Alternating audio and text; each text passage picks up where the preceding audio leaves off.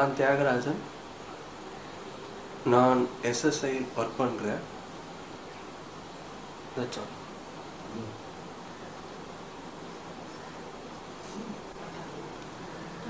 என்னோட பேர் லதா.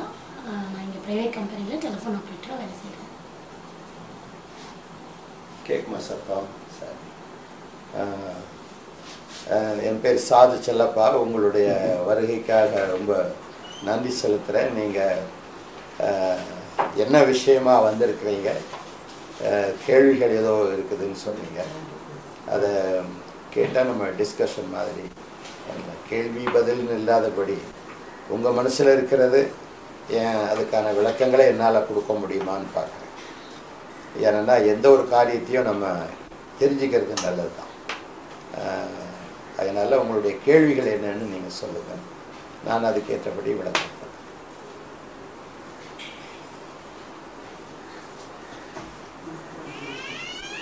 லதா என்ன லதா இந்தியாவில் எத்தனை மதங்கள் இருக்கு? கொஞ்சம் மதத்தை பற்றி கொஞ்சம் சொல்லுங்க. அப்புறம் வந்துட்டு மதத்தோட பேக்ரவுண்டை பற்றி கொஞ்சம் சொல்லுங்க.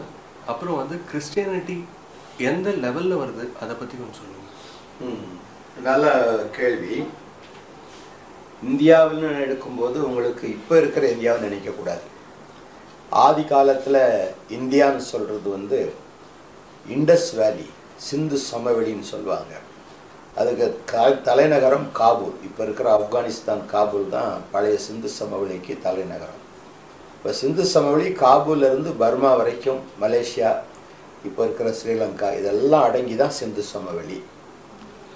அப்போ இருந்த மக்களுக்குள்ள மதம் என்ற ஒன்று இருந்ததான்றதுக்கு எந்த ஆதாரமும் இல்லை.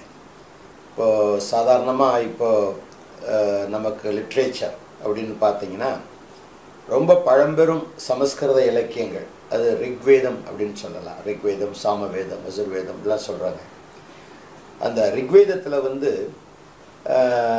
இந்த மாதிரி மதங்கள் பற்றி எந்த பெயரும் இல்லை.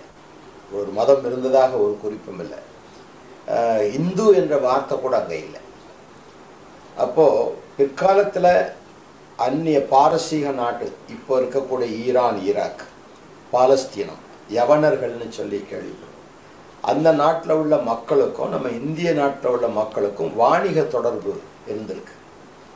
அப்போ கருத்து பரிமாற்றம் நிச்சயமா நடந்திருக்கும். வேதத்துல மதத்தை பத்தி சொல்றேன்றீங்க. வேதாஸ்ல மதத்தை பத்தி சொல்றேன்றீங்க. அப்படின்னா அந்த வேதம் எதற்காக எழுதப்பட்டுள்ளது? வேதம்ன்றது எழுதப்படவே இல்லை. ஆக்சுவலாக அந்த நாட்களில் சில மனிதர்கள் கடவுளை தேடுறாங்க. கடவுளை தேடும்போது தங்களுடைய ஆன்மீகத்தில் அவங்க என்ன ஃபீல் பண்ணுறாங்களோ அந்த தேடுதலை எழுதி வச்சிருக்கிறாங்க இப்போ தேடுறதுக்கும் ஆண்டவனை வெளிப்படுறதுக்கும் ஒரு வித்தியாசம் இருக்கு. இப்போ ரெவலேஷன் ஆஃப் காட் ஒன்று இருக்குது. சர்ச் ஆஃப் மேன் ரெண்டு இருக்கு.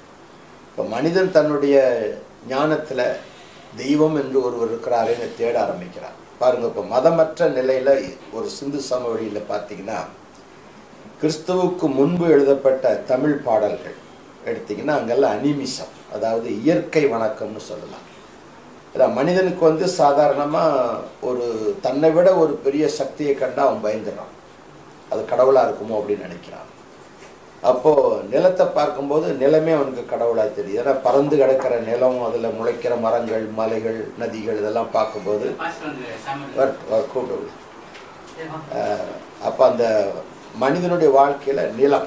நிலம் வந்து அவனுக்கு ஒரு வாங்க பஸ்டம் ஒரு சின்ன டிஸ்கஷன் நீங்களும் நடுவில் கேட்கலாம் அப்போ அந்த மனிதனுடைய வாழ்க்கையில் முதலாவது வரக்கூடியது ஒரு இயற்கை வணக்கம் இயற்கையை பார்த்து பயக்க தமிழ் பாடல் ஒன்று பார்த்தீங்கன்னா மண் துணிந்த நிலனும் நில நேந்திய விசும்பும் விசும்பு தை வருவழியும் வழிதலைய தீயும் தீமுருணிய நீரும் என்றாங்கு ஐம்பெரும் பூதத்து இயற்கை போல அப்படின்னு. அப்போ விசும்பு என்றால் ஆகாயம். ஆகாயம் அவனுக்கு ஒரு ஆச்சரியமான காரியம். அது கடவுள் நினைக்கிறான். அதுக்கடுத்தது தீ. தீ பக்கத்திலே போக முடியல. பற்றி எரியுது. அதை அழிக்குது. அதை பார்த்தோன்னா நம்மளோட ஒரு பெரிய சக்தி. காற்று மரத்தை வேரோட சாய்க்குது. அது ஒரு பெரிய சக்தி. அப்போ தன்னை விட சக்தியாக இருக்கிறதெல்லாம் கடவுள் அவனை நினச்சான்னா அதுக்கு கடவுளே அவனுடைய உள்ளத்தில் இந்த எண்ணத்தை போடுறாருன்னா சொல்லணும். ஏன்னா கடவுளையே அறியாத ஒரு நிலையில் இருக்கிற மனுஷனுக்குள்ள கடவுள் தன்னை வெளிப்படுத்தினால் ஒழிய மனிதன் அதை கடவுள் என்று ஒருவர் இருக்கிறாருன்னு தெரியவே தெரியாது. இப்போ பிற்காலத்தில் சைவ சித்தாந்தத்தில் பாருங்கள் ஒரு பாடல் இருக்குது. இல்லா அருவாகி நின்றான யார் அறிவார்? தானே உருவாகி தோன்றானேல் உற்று அப்படின்னு உமாபதி சிவாச்சாரியார் ஒரு கேள்வி கேட்குறார். இல்லா அருவாகி நின்றார் கடவுளுக்கு ஒரு உருவமே இல்லை. அவரை யார் அறிய முடியும்? தானா வந்து தன்னை வெளிப்படுத்தாவிட்டால். அப்போ வெளிப்படுத்தல் ஒன்று தேடுதல் ஒன்று. தேடி பார்க்குறான். மனுஷன் தேடுறான். அந்த ஞானத்தில் எழுதப்பட்டதை எழுதுனதை தான் நம்ம ரிக்வேதம்னு சொல்கிறோம் இப்போ ரிக்வேதத்தில் பார்த்தீங்கன்னா மதமோ இன்றைக்கு இந்து மக்கள் கடவுள்னு நினைக்கிற கடவுள் பெயர்களோ அதில் இல்லை. வாயு அக்னி இப்படி இயற்கை பேர் தான் ஆரம்பி முதல் வார்த்தை அக்னின்னு தான் ஆரம்பிக்குது. அது அங்கேயும் இயற்கை வணக்கம் இருக்குது அதே மாதிரி தமிழ் பாடல்கள்லேயும் இயற்கை வணக்கம் இருக்குது இந்த ரெண்டு வணக்கமும் சேர்ந்து மனிதனுக்குள்ளே இருக்குன்னு வச்சுக்கலாம். இப்போ சிந்து சமவெளிந்து பார்க்குறோம் சிந்து சமவெளியிலேருந்து நமக்கு கொஞ்சம் கொஞ்சமாக உள்ள ஆட்கள் வர க கருத்து பரிமாறலாம் நடந்துகிட்ருக்கு இப்போது இப்போ அந்த ஸ்- மத்திய ஆசியாவிலிருந்து நம்ம இந்தியாவுக்குள்ள கைபர் போலன் கணவாய் வழியில் வர்றவங்க இங்கே செட்டில் ஆக ஆரம்பிக்கிறாங்க. ஏன்னா அந்த காலத்தில் காலையில் வந்துட்டு சாயங்காலம் போகிற வழக்கம் இல்லை. அப்போ இப்போது பிளெயின் இருக்குது வந்த உடனே உடனே அடுத்த வருஷம் லிஃப்ட்டில் போயிடும். இப்போ அப்போல்லாம் வந்தால் ரெண்டு வருஷம் மூணு வருஷம் தங்கி தான் போவாங்க. அப்படி தங்கும்போது லோக்கல் பீப்புளோட ஒரு திருமண உறவுகள்லாம் கூட ஏற்படுது. அதனால தான் இந்தியாவில் பார்த்தீங்கன்னா பலவிதமான நிறங்கள் பலவிதமான உருவங்கள் பலவிதமான கலாச்சாரங்கள் பலவிதமான உணவு பலவிதமான உடை இதெல்லாம் வர்றதுக்கு காரணம் என்னென்னா பாரசீகம் அரபு அரபு நாடுகள் பா இது இங்கே ஈரான் ஈராக்கு இவங்க சிரியா தேசத்துக்கு இவங்களெல்லாம் இங்கே வந்திருக்கிறாங்க. இதுக்கு நம்ம சரித்திரத்தில் ஆதாரம் இருக்கு. சிந்து சமவெளி இதுல இருந்து வந்தவங்க யாருன்னு சிந்து சமவெளிக்குள்ள வந்தவங்க கேட்குறீங்க அதாவது ஈரான் ஈராக்கு பாரசீகம் பாலஸ்தீனம் சிரியா. அப்ப அதுக்கு முன்னாடி நம்ம இந்தியாவுல இருந்துட்டு இவங்க வந்து திராவிடர்கள். திராவிடர்கள். அதுதான். இந்தியாவும். ஆமா ஹோல் இந்தியானாக்கா இப்ப இருக்கிற பாப்புலேஷன் அப்ப இல்லையே. இப்ப இருக்கிற ஹோல். இந்தியானா இன்னைக்கு நூறு கோடி ஜனம் இருக்கிறாங்க. அன்னைக்கு ஒரு பத்தாயிரம் பேர் தான் இருந்திருப்பாங்க. இவங்கெல்லாம் அந்த ஹேம்லெட் மாதிரி சின்ன சின்ன குடிசைங்களை சின்ன ஒரு இடத்துல தான் இருந்திருப்பாங்க. ஒரு குடும்பத்தில் கல்யாணம் ஆகுது நாலு பிள்ளைங்க பிறக்கிறாங்கன்னா நாலு பேருக்கும் கல்யாணம் பண்ணி வச்சு அவங்க நாலு பிள்ளைய பெற்று போடுவாங்க. இப்போ நாங்கள் பார்த்தா இடம் இல்லப்பா நீ தனியாக போயிருன்றோம். அது மாதிரி இந்த குடும்பங்கள் பெரிய பெரியதான தேசங்கள் ஊர்கள் இதெல்லாம் பெருகுது. அதனால் நீங்கள் சிந்து சமவெளி காலத்தில் போய் இன்றைக்கி இருக்கிற பாப்புலேஷனை நினைக்கவும் கூடாது. அப்போ அந்த நாட்களில் கொஞ்சம் பாப்புலேஷன் இருந்தது. அது அவங்க வந்து திராவிடர்கள் சுமேரியா கான்டினென்ட்னு சொல்லுவோம் இப்போ சுமேரியா கான்டினென்ட்னு சொல்லும்போது ஆர்கியலாஜிக்கல் எவாக்குவேஷன் என்ன சொல்லுதுனாக்கா சுமேரியா கான்டினென்ட் முழுவதும் திராவிட நாகரிகம் அப்படின்னு சொல்றாங்க. அப்ப என்ன தெய்வங்களை வழிபட்டாங்க அவங்க? இயற்கை தெய்வம். இயற்கை தெய்வம் இன்னும் பல விதமான தங்கள் நினைச்ச உருவங்களை செய்தாங்க. இப்போ பாருங்க இந்தியாவில் விக்கிரக வழிபாடு வர்றதுக்கு முன்பு விக்கிரக வழிபாடு எங்க இருந்ததுன்னா பாரசீகத்தில் தான் இருந்தது. பெர்ஷியா ஈரான் ஈராக்கு பாபிலோன் இந்த மாதிரி இடங்கள்ல தான் அவங்களுக்கு விக்கிரக வணக்கம். ஏன்னா அவங்களுக்கு தான் அந்த இடத்துல தான் பாப்புலேஷன் ஆரம்பிக்குது உங்களுக்கு. அரராத் மலையிலிருந்து தான் பாப்புலேஷன் உங்களுக்கு ஆரம்பிக்குது. அப்போ ஏன் அந்த இடத்துல இருந்து தான் ஆரம்பிக்குது? ஆப்கானுடைய டாப் ஆப்கானுடைய தலை ரஷ்யாவினுடைய ஃபுட்டுன்னு வச்சுக்கோங்களேன். அந்த இடத்துல தான் நோவாவினுடைய கப்பல் நிற்குது அங்கேருந்து தான் பாப்புலேஷன் இன்க்ரீஸ் ஆகுது. இப்போ இவங்கெல்லாம் போகும்போது தெய்வம் யாருன்னு தெரியாதபடி தங்களுடைய மனதில் தோன்றினதெல்லாம் தெய்வமாக்கிட்டான் மரத்தை சுரண்டிகிட்டே இருப்பான் மனுஷன் மாதிரி ரூபம் வந்தோன்னா மரத்தில் அப்படியே வருது சாமி அப்படின்னு நினைக்கிறேன் அதே மாதிரி தான் கல் கல் வந்து இப்போ பலவிதமான உருவங்களை கொடுக்குறோம். மனுஷன் மாதிரி ஒருத்தனை வச்சேன்னா அது மனுஷன் மாதிரி தானே இருக்குதுன்னு ரெண்டு ரெண்டு கை நாலு கையை போடுவான். அப்படியும் செய்யலாம். அதனால் மனிதன் தன்னுடைய கற்பனை வளத்தை அதிகப்படுத்தி தெய்வம் இப்படி இருப்பா. இப்போ சாதாரண பேர் சரஸ்வதி அப்படின்னா அது கல்விக்கு தெய்வம் அப்படின்னு இப்போ இப்போ வச்சுருக்குறோம். அதுக்கு ஒரு வெள்ளத்தாமரை மேலே வச்சுருக்கோம். அப்போ வெள்ளத்தாமரை தான் அவங்க இருப்பாங்களா? வேற எங்கேயும் போக மாட்டாங்களா?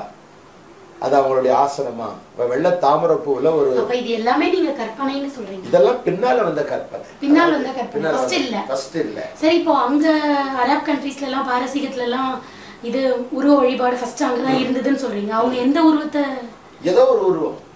நமக்கு எந்த உருவம்னு சொல்ல சொல்ல முடியாது. பழைய கல்வெட்டுகள் பார்த்தீங்கன்னா ஏதோ ஒரு மனுஷன் தலை இருக்குது நீளமா ஒரு கை இருக்குது ஒரு கையில ஒரு. ஒரு டிஃப்ரெண்டா செஞ்சு வச்சிருக்காங்க ம். அப்ப அந்த மாதிரியான அந்த நாட்கள்ல இப்ப இருக்கக்கூடிய சிற்பிகள் அந்த நாள்ல கிடையாது. அதனால ஒரு கொச்சையா தான் இருக்கும். ஒரு நல்ல டெக்கரேட்டடா இருக்காது. இன்னைக்கு நடராஜர் சிலை அழகா செய்றாங்க. ஏன்னா ஆர்கிடெக்சரா செய்றாங்க. ஆனா அந்த நாட்கள் இப்படிப்பட்ட ஆர்கிடெக்சர் இல்லையே. அதனால தங்களுக்கு தோன்றின மாதிரி ஏதோ ஒரு உருவத்தை செஞ்சு அதை கொஞ்சம் நம்ம கொஞ்சம் பயங்கரமா செஞ்சா ஜனங்கள் பயப்படுவாங்க. இப்படியெல்லாம் கூட செஞ்சிருக்கிறாங்க. அப்போ அந்த சிந்து சமவெளி நாகரிகத்தில் இருக்கும்போது உள்ள வந்தவர்கள் ஆரியர்கள். அந்த ஆரியன்ஸ் யார் என்கிறத குறித்து இன்னும் சரியான ஒரு கிளாரிஃபிகேஷனே இல்லை.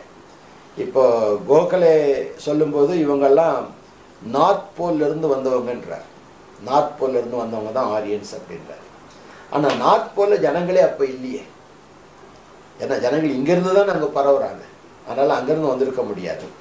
தமிழ் இலக்கியத்தில் யவனர்னு சொல்கிறாங்க யவனருங்கிறது ரோமன்ஸ் போர்ச்சுகீஸ் ஈரான் ஈராக்கீஸ் இவங்களுக்கு எல்லாமே யவனர் தான் யூதர்கள். இவங்க எல்லாமே யவனர்கள் தான் ஒரு மொத்தமாக ஒரு பேர். வெள்ளைக்காரன் சொல்கிறோம் இல்லையா? வெள்ளைக்காரன் சொன்னால் எல்லாம் வெள்ளக்காரன் இல்லை. அமெரிக்கன் வேறு இங்கிலீஷ்காரன் வேறு யூரோப்பியன் வேறு சுவிட்சர்லாந்துக்கு எல்லாம் வெள்ளையாக தான் இருக்கான். ஆஸ்திரேலியன் வேறு. இப்போ வெள்ளைக்காரன் சொன்னோம்னா அவனவனுக்கு ஒரு நாடு இருக்குது அவனுக்கு ஒரு தனி குரூப் இருக்குது. அது மாதிரி இப்போ அந்த பாரசீகன் அப்படின்னு சொல்கிறது இங்கே சொல்கிறத காட்டிலும் யவனர் அப்படின்னா வெளிநாட்டிலேருந்து வந்தவங்க. அந்த ய- யகூத வம்சத்தை சேர்ந்தவங்க அப்படி. அப்போ இவங்களுக்குள்ள மதமற்ற நிலையில் இங்கே உள்ளே வந்தவங்க வந்து பலி செலுத்துகிற ஒரு மார்க்கத்தை ஏற்படுத்துகிறாங்க அதனால தான் ரிக்வேதத் முழு ரிக்வேதத்தில் பலி அதிகமாக சொல்லப்பட்டிருக்கு. அப்போ அந்த கேள்வி உங்களுது என்னன்னாக்கா இந்த மதங்கள் எப்படி தோணுன இப்போ இந்தியாவில் மதம் சொல்வது மதம் என்பது இறைவனுடைய படைப்பல்ல. மனிதன் தான் அதை உண்டாக்குறான். ரிலிஜன் அப்போ அது இங்கிலீஷில் ரிலிஜன் சொல்கிறோம் இல்லையா? ரிலிஜியோ ரெண்டு லாட்டின் வேர்டு அது. ரிலிஜியோ ஜியோ என்று சொல்கிறது உலகம். இந்த ஜியோ ஜியோகிரஃபின்னு சொல்கிறோம் இல்லையா? ஜியோனா உலகம். அந்த ஜியோவிலிருந்து வெளிப்படுறது தான் ரெலிக் ரெலிக்னா நான் வெளியேறுறேன் உலகத்தை விட்டு வெளியேறுவது. அப்போ ஏன் உலகத்தை விட்டு வெளியேறணும்னா நான் இறைவனோடு இருக்க போகிறேன் அப்போ ரிலிஜன் என்று சொல்லுவது உலகத்தை விட்டு பிரிந்து இறைவனோடு சங்கமமாகிறது. அதனுடைய ஒரு ஒரு அமைப்பு. வச்சுக்கலாம். கருத்து. அப்போ இந்த மதம் என்ற அடிப்படையில இந்து என்ற மதம் ஆரம்பத்துல இல்லை. இந்தியாவில் இந்து என்ற மதம் ஆரம்பத்துல கிடையவே கிடையாது. ஆரியம் இருந்தது. திராவிடம் திராவிடம். இருந்தது இந்த ரெண்டுக்கும் நடுவுல ஒரு கான்ஃப்ளிக்ட் இருந்தது. இதுல ஏற்படுத்தினது தான் பௌத்த மதம். பௌத்த மதம் ஜெயின மதம் வர்றதுக்கு காரணமே இந்த ஆரிய மார்க்கத்துல வந்து மிருகங்களை பலி செலுத்தினாங்க. இப்போ மிருக பலி செலுத்தின உடனே இவங்க அதை எதிர்த்தாங்க. ஏன் கடவுள் பேரால நீ மிருகத்தை கொல்ற? கடவுளும் வேண்டாம் கொலையும் வேண்டாம். அன்பு தான் ஆசையெல்லாம் ஒழிச்சா போதும். அதான் கௌதமருடைய உபதேசம். அப்போ அவர் ஒரு ராஜகுமாரனா இருந்ததுனால எல்லா ராஜாக்களும் அதை ஏற்றுனாங்க. அப்போ ஈஸியாக எல்லா ராஜாக்களும் ஏற்கும்போது குடி பிரஜைகளும் அதை ஃபாலோ பண்ணுறாங்க அதனால சேர சோழ பாண்டிய நாடு நீங்களாக இந்தியா முழுவதும் ஒரு காலத்தில் புத்த மதமாக போச்சு அசோக சக்கரவர்த்தி வரைக்கும். இப்போ அதுக்கு முன்னே ஹர்ஷவர்த்தனுடைய ராஜ்யம் குப்த ராஜ்யம் மகத ராஜ்யம் இப்படி நம்ம ஹிஸ்ட்ரியில் படிக்கிறோம் இல்லையா? இன்னைக்கும் நம்முடைய தேசிய சின்னத்தில் அசோக ஸ்தூபி தான் இருக்க தவிர இந்து ஸ்தூபின்னு ஒன்றும் கிடையாது. அசோக ஸ்தூபி தான் அதில் இருக்குது அசோக சக்கரம் தான் இருக்குது காரணம் இந்தியா ஒரு அறநூறு ஆண்டு காலம் புத்த நாடாக இருந்திருக்கு. அந்த நாட்களில் இந்த மிருக பலிகள் நிறுத்தப்பட்டதுனால ஆரியன்ஸ் என்ன செய்தாங்கன்னா தாங்களும் வெஜிடேரியனாக மாறினாங்க. ஏன்னா அதுக்கு முன்னால் அவங்க அவங்களுடைய அந்த வேதப்படி ஒரு மிருகத்தை பலி செலுத்துறதுனால பாவம் மன்னிக்கப்படும் அப்படின்ற ஒன்று ரிக்வேத்தில் இருக்குது இப்போ யக்ஞே சபித கல்மஷக அப்படின்றான் பலி தான் பலி இல்லைன்னாக்கா நமக்கு பாவ மன்னிப்பு இல்லை. அப்படின்றான். இப்போ யக்ஞோத தசிய சாயா கிரியத்தே அப்படின்றான். இப்போ மிருக பலிகளெல்லாம் இறைவனுடைய பலிக்கு நிழலாய் செய்யப்படுகின்றன அப்படின்றார். யஜ்யம் பிரதமானி தர்மானி எல்லா தர்மங்களும் சிறந்தது பலி மார்க்கமே அப்படின்றான் இப்போ பலின்னு சொல்லும்போது மூணு பலி முக்கியம். ஒன்று நர மேத்திய யஜ்யம் நரன்னா மனிதன் மேத்தியம்னா சரீரம் யஜ்யம்னா பலி. அப்போ மனித சரீரத்தை பலி செலுத்துதல்.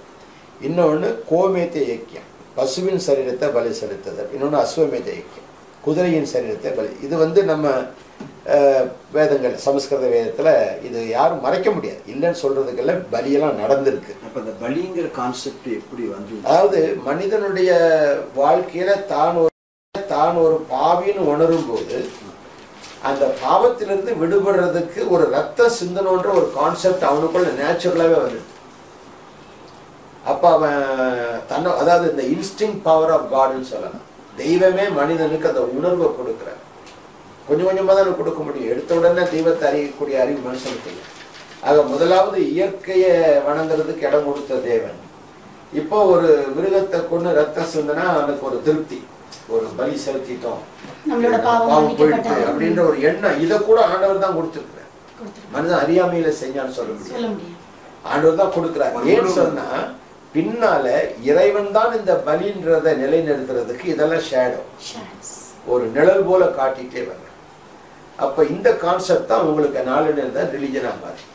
இப்ப பாருங்க ஆரியம் ஆரிய மார்க்கம். ஆரிய மார்க்கத்தை எதிர்த்தது ஜெயின மார்க்கம் புத்த மார்க்கம். அப்போ ஒண்ணுக்கு கொள்கை வகுத்துக்கிறாங்க இப்ப திராவிட மார்க்கம் ஒண்ணு இருக்குது. திராவிட சமயம். இப்ப திராவிட பாப்புலேஷன் நீங்க சொல்றீங்க நோவால தான் ஸ்டார்ட் ஆச்சு. ஆமா. அதுக்கும் திராவிடன்ஸ்க்கும் எதனா லிங்க் இருக்குங்களா? திராவிடியன்கிறது நோவா ஆரிஜின் நீங்க சொல்றீங்க. நோவா தான் ஆரிஜின் சொல்றீங்க. அதுல இருந்து எப்படி வந்து திராவிடியன்ஸ் வந்தாங்க? அதாவது அவங்களுடைய மொழிகள் மொழி சிதறுதல் ஏற்படுது. மொழி சிதறல் ஏற்படும் போது தரமிழர் அப்படின்றாங்க. தரமிழர் தான் கடைசியில் திராவிடர் தமிழர் இதெல்லாம் வர்றதுக்கு கான்செப்ட் இருக்கு. அது மாதிரி அவங்களுடைய பேசுகிற லாங்குவேஜஸ் ஒவ்வொரு குரூப் குரூப்பாக போகிறச்ச பிரிஞ்சிடுது பாருங்க தமிழ் எடுத்துக்கிட்டிங்கன்னா மெட்ராஸ் தமிழ் வேற. கன்னியாகுமரி தமிழ் வேற கோயம்புத்தூர் தமிழ் வேற திருச்சி தமிழ் வேற திருநெல்வேலி தமிழ் வேற. எல்லாம் தமிழ் தான். அந்த ஆக்சென்ட் கொஞ்சம் வித்தியாசமா இருக்கும். சில வார்த்தைகள் வித்தியாசமா இருக்கும். அப்போ இது போல வர்றவங்கெல்லாம் குரூப்பாக குரூப்பா பிரிஞ்சுக்கிறாங்க. இப்போ அந்த குரூப்பா பிரிஞ்சு போக போக போக அவங்களே பெருகி பெருகி ஒரு சின்ன காண்டினெண்டா மாறுறாங்க. சிறு குறுநில மன்னர்கள் அப்போ சிறு ராஜ்யங்கள் அப்புறம் ரெண்டு மூணு இதெல்லாம் ஒருத்தன் மற்றவங்களெல்லாம் அடிச்சு போட்டு ஒன்றா செத்தனா பெரிய ராஜ்யம். இப்படிதான் ராஜ்யங்கள் ஏற்பட ஆரம்பிக்குது. அதுபோல மதங்கள்ல கூட பாருங்க கான்செப்ட் ஒவ்வொருத்தருடைய கான்செப்டை இப்போ நான் ஒன்று சொல்றேன் என்ன ஒரு பத்து பேர் ஃபாலோ பண்றான்னா அவன் என்னுடைய குரூப் இப்போ நான் அவங்களுக்கு ஒரு தலைவன். நான் என்ன பண்றேன் என்னதை ஸ்தாபிக்கிறதுக்காக இன்னும் பலரை நான் கொண்டு எனக்குள்ள சேர்த்து கொள்றேன். அப்போ கடைசியில் அதுக்கு ஒரு டாக்டரின் ஒன்று போட்டு ஒரு கொள்கை வகுத்து இதுதான் எங்களுடைய மதம் அப்படின்னு நாங்கள் ஆயிக்கிறோம். ஆனா இது இறைவனால் உண்டானதா மனுஷனால் உண்டானதான்னா மனுஷன் தான் உண்டாயிருக்கு அதனால மதம் என்று சொல்லக்கூடிய நிலையில ஆதியில பார்த்தீங்கன்னா ஆரியானிசம். ஆரியானிசம் தான் ஒரு மதம்ங்கிற சூழ்நிலை. அதில் அதை அப்போஸ் அதை விரோதி அதை அதை மேற்கொள்றதுக்காக தான் ஜைனம் பௌத்தம். அது ரெண்டும் கடவுளற்ற மார்க்கங்கள். ஜைனத்துக்கும் பௌத்தத்துக்கும் கடவுள் நம்பிக்கை இல்லை. கடவுளை பற்றி புத்தரும் ஒன்றும் சொல்லலை ஜெயினரும் ஒன்று மகாவீரரும் ஒன்றும் சொல்லலை. இவங்களது என்னன்னா அன்பு நெறி கொள்கை. தன்னைத்தான் ஒருத்தர். இந்த மாதிரி தான் அவங்க செய்கிறாங்க அதுக்கப்புறம் பார்த்தீங்கன்னா இந்த பௌத்தம் மார்க்கத்தை அழிக்கிறதுக்கு ஆரியர்கள் செய்த அநேக காரியங்கள் இருக்கு. பௌத்த மார்க்கம் ஒழிச்சாதான் தங்களுக்கு ஒரு பாப்புலேஷன் நல்ல ஒரு பிறகு பொக்கியாதி வரும்னு சொல்லி இந்த பௌத்த மார்க்கத்தை ரெண்டா உடைச்சிட்டாங்க. ஹீனயானா மகாயானான்னு உடைச்சு அதுக்கு நடுவில் ஒன்று நுழைஞ்சிட்டாங்க அது ஊர் ஒரு ரெண்டு பட்டா பூசாரிக்கு கொண்டாட்டம்ன்றது. அதை ரெண்டா உடைச்சிட்டு நடுவில் நுழைஞ்சு கடைசியில் ஹீனயானக்காரங்களெல்லாம் அப்படியே அந்த பக்கம் திபேத் சீனா அப்படி போயிட்டாங்க. மகாயானா கொள்கையுடையவங்களாம் சவுத்துக்கு வந்தாங்க. அதாவது ஸ்ரீலங்கா இங்கெல்லாம் பார்த்தீங்கன்னா மகாயானா அதிகமாக இருக்கு. அது ரெண்டுக்கும் என்ன வித்தியாசம்? மகாயானாவில் புத்தருடைய சிலையை வச்சு வழிபடலாம். ஹீனயானாவில் அந்த சிலை வழிபாடு இல்லை. ஆனால் நாளடைவில் ரெண்டும் போயிடுச்சு. இப்போ சி- ஹீனயானா மகாயானா பிரிவு இருக்கே தவிர இன்னைக்கு புத்தருடைய ஒரு கொள்கையும் அதில் இல்ல. புத்தருடைய ஒரு கொள்கையும் புத்த மதத்தில் இல்லை.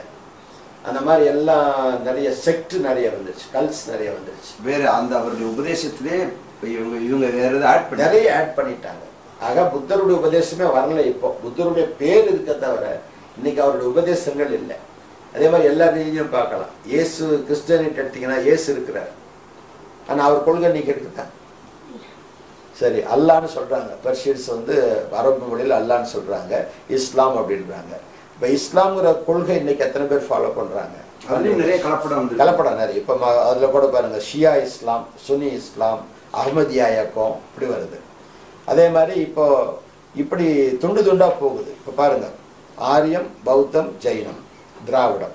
திராவிடத்துல வந்து திராவிடர்களுக்கு எந்த விதமான கடவுள் நம்பிக்கையோ மத நம்பிக்கையோ அவங்க எந்த மதத்தை சேர்ந்தவங்களும் இல்லை. ஆனா நாளடைவில் ஆரியனிசம் அவங்கள ஓவர் கம் பண்ணுது.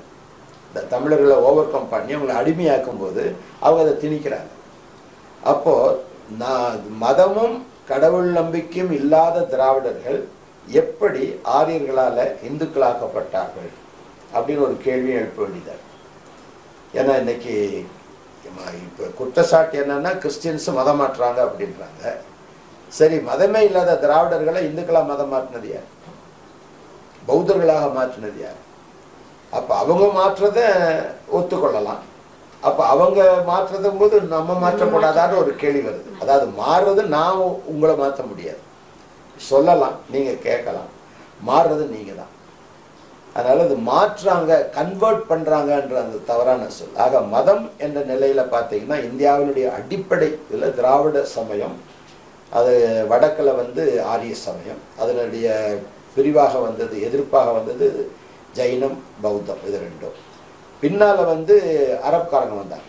பெர்ஷியன்ஸ் அரபெல்லாம் இந்தியா மேலே படையெடுத்து வந்தாங்க. எதுக்கு இந்த புத்த சாம்ராஜ்யத்தை ஒழிக்கிறதுக்கு?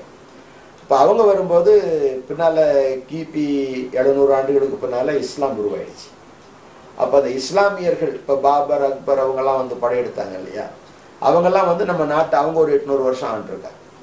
ஒரு அரபுக்கார ராஜா நம்ம நாட்டில் வந்து உட்காந்து அரசாண்டு இருக்கிறான் அப்படின்னா இந்திய நாட்டுக்குள்ள அரசாண்டு இருக்கான்னா ஏன்னாக்க இதுவும் அது சிந்து சமவெளியில ஒரு பிரிவு தானே. தனி இப்போதானே தனி நாடு. நைன்டீன் ஃபார்ட்டி செவனுக்கு அப்புறம் தான் இன்னைக்கு அரேபியான்றோம் மலேசியான்றோம் சிங்கப்பூர்ன்றோம் இதெல்லாம் முன்ன எங்கே எல்லாம் இந்தியாவுக்குள்ள தானே இருந்தது. அதனால இன்றைக்கு நாடு என்ற நிலையில இன்றைக்கு இருக்கக்கூடிய நிலையில பார்க்காம அன்றைக்கு பாரசீகத்தில் இருந்தவன் கொஞ்சம் தள்ளி வந்து இங்கே உட்காந்து ராஜா அரசாண்டான் பாரசி இப்போ நீங்கள் பைபிளே பார்த்தீங்கன்னா இந்து தேசம் முதல் எத்தியோப்பியா வரைக்கும் அகாஸ்வர் என்ற ஒரு மன்னன் ஆண்டு வந்தான் அப்படின்னு ஒரு ஹிஸ்டாரிக்கல் எவிடன்ஸை கொடுக்குறாங்க. அப்போ இந்த இந்து தேசங்கிறது இந்து மத தேசம் இல்லை சிந்து சமவெளியே இந்து அப்படின்னு சொன்னாங்க. இப்போ சிந்துங்கிறது பெர்ஷியன்ஸுக்கு சி கிடையாது. ப்ரொனவுன்ஸ் பண்ண தெரியாது. அப்போ சிந்துங்கிறதுக்கு பதிலாக ஹிந்து அப்படின்னு. அப்போ ஹிந்து என்பது முஸ்லீம் இந்துஸ்தான் அப்படின்னு. அப்போ சின்ன சின்ன ராஜ்யம் ஒரு எண்பத்தஞ்சு ராஜ்யங்களாக இருந்தது. இப்போ நம்ம இருக்கிற இந்தியாவில் எண்பத்தஞ்சு ராஜ்யங்கள். இப்போ கொஞ்சம் கொஞ்சமாக ஒவ்வொரு பிரிவுகள் வருது. இப்போ ஆறா கிபி ஆறாம் நூற்றாண்டில் வ- உதயமான சமயங்கள். சைவம் வைணவம் கௌமாரம் காணாபத்தியம் சாக்தம் சௌரம். இது தமிழ் சமயங்கள் ஆறு சமயம். இப்போ வடநாட்டில் இருக்கிற ஆரியர்கள் தென்னாட்டுக்கு வரும்போது இங்கே இருக்கக்கூடிய சமய நிலையை பார்க்கலாம் அவன் வந்து மதவாதி இவன் சமயவாதி. இப்போ மதத்துக்கும் சமயத்துக்கும் வித்தியாசம் இருக்குது மதம் என்பது ஒரு கொள்கை அமைப்பில் கட்டுக்கோப்புடன் வாழ்கிறது மதம். அதனால தான் அந்த மதம் வெறியை கொடுக்குது. இது தவிர போன அடி அப்படின்ற மாதிரி. ஆனால் தமிழ்நாட்டில் பார்த்தீங்கன்னா சமயம் சமயம் இல்லை சமயம்.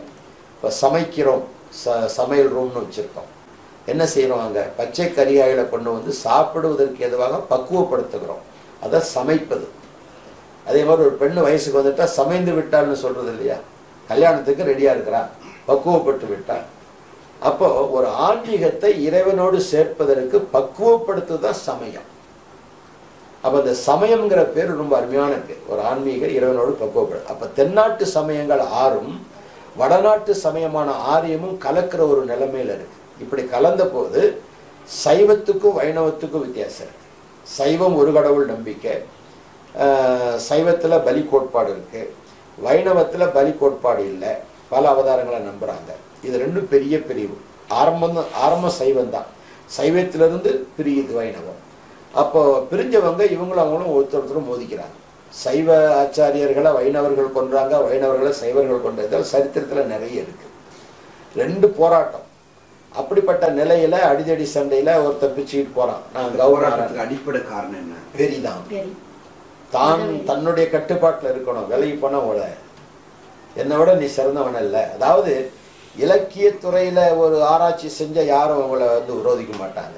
ஆனா கடவுளுடைய அறிவை பற்றி சொல்லும்போது ஒவ்வொருத்தருக்கும் வைராக்கியம் வந்துடுது அந்த வைராக்கியம் வந்து ஒரு பெரிய பாவம். உண்மையான்னு உணர்றதுக்கு பதிலா இருக்கிறத ஸ்டாண்ட் இதுதான் இதுக்கு மேல நீ சொல்லாத.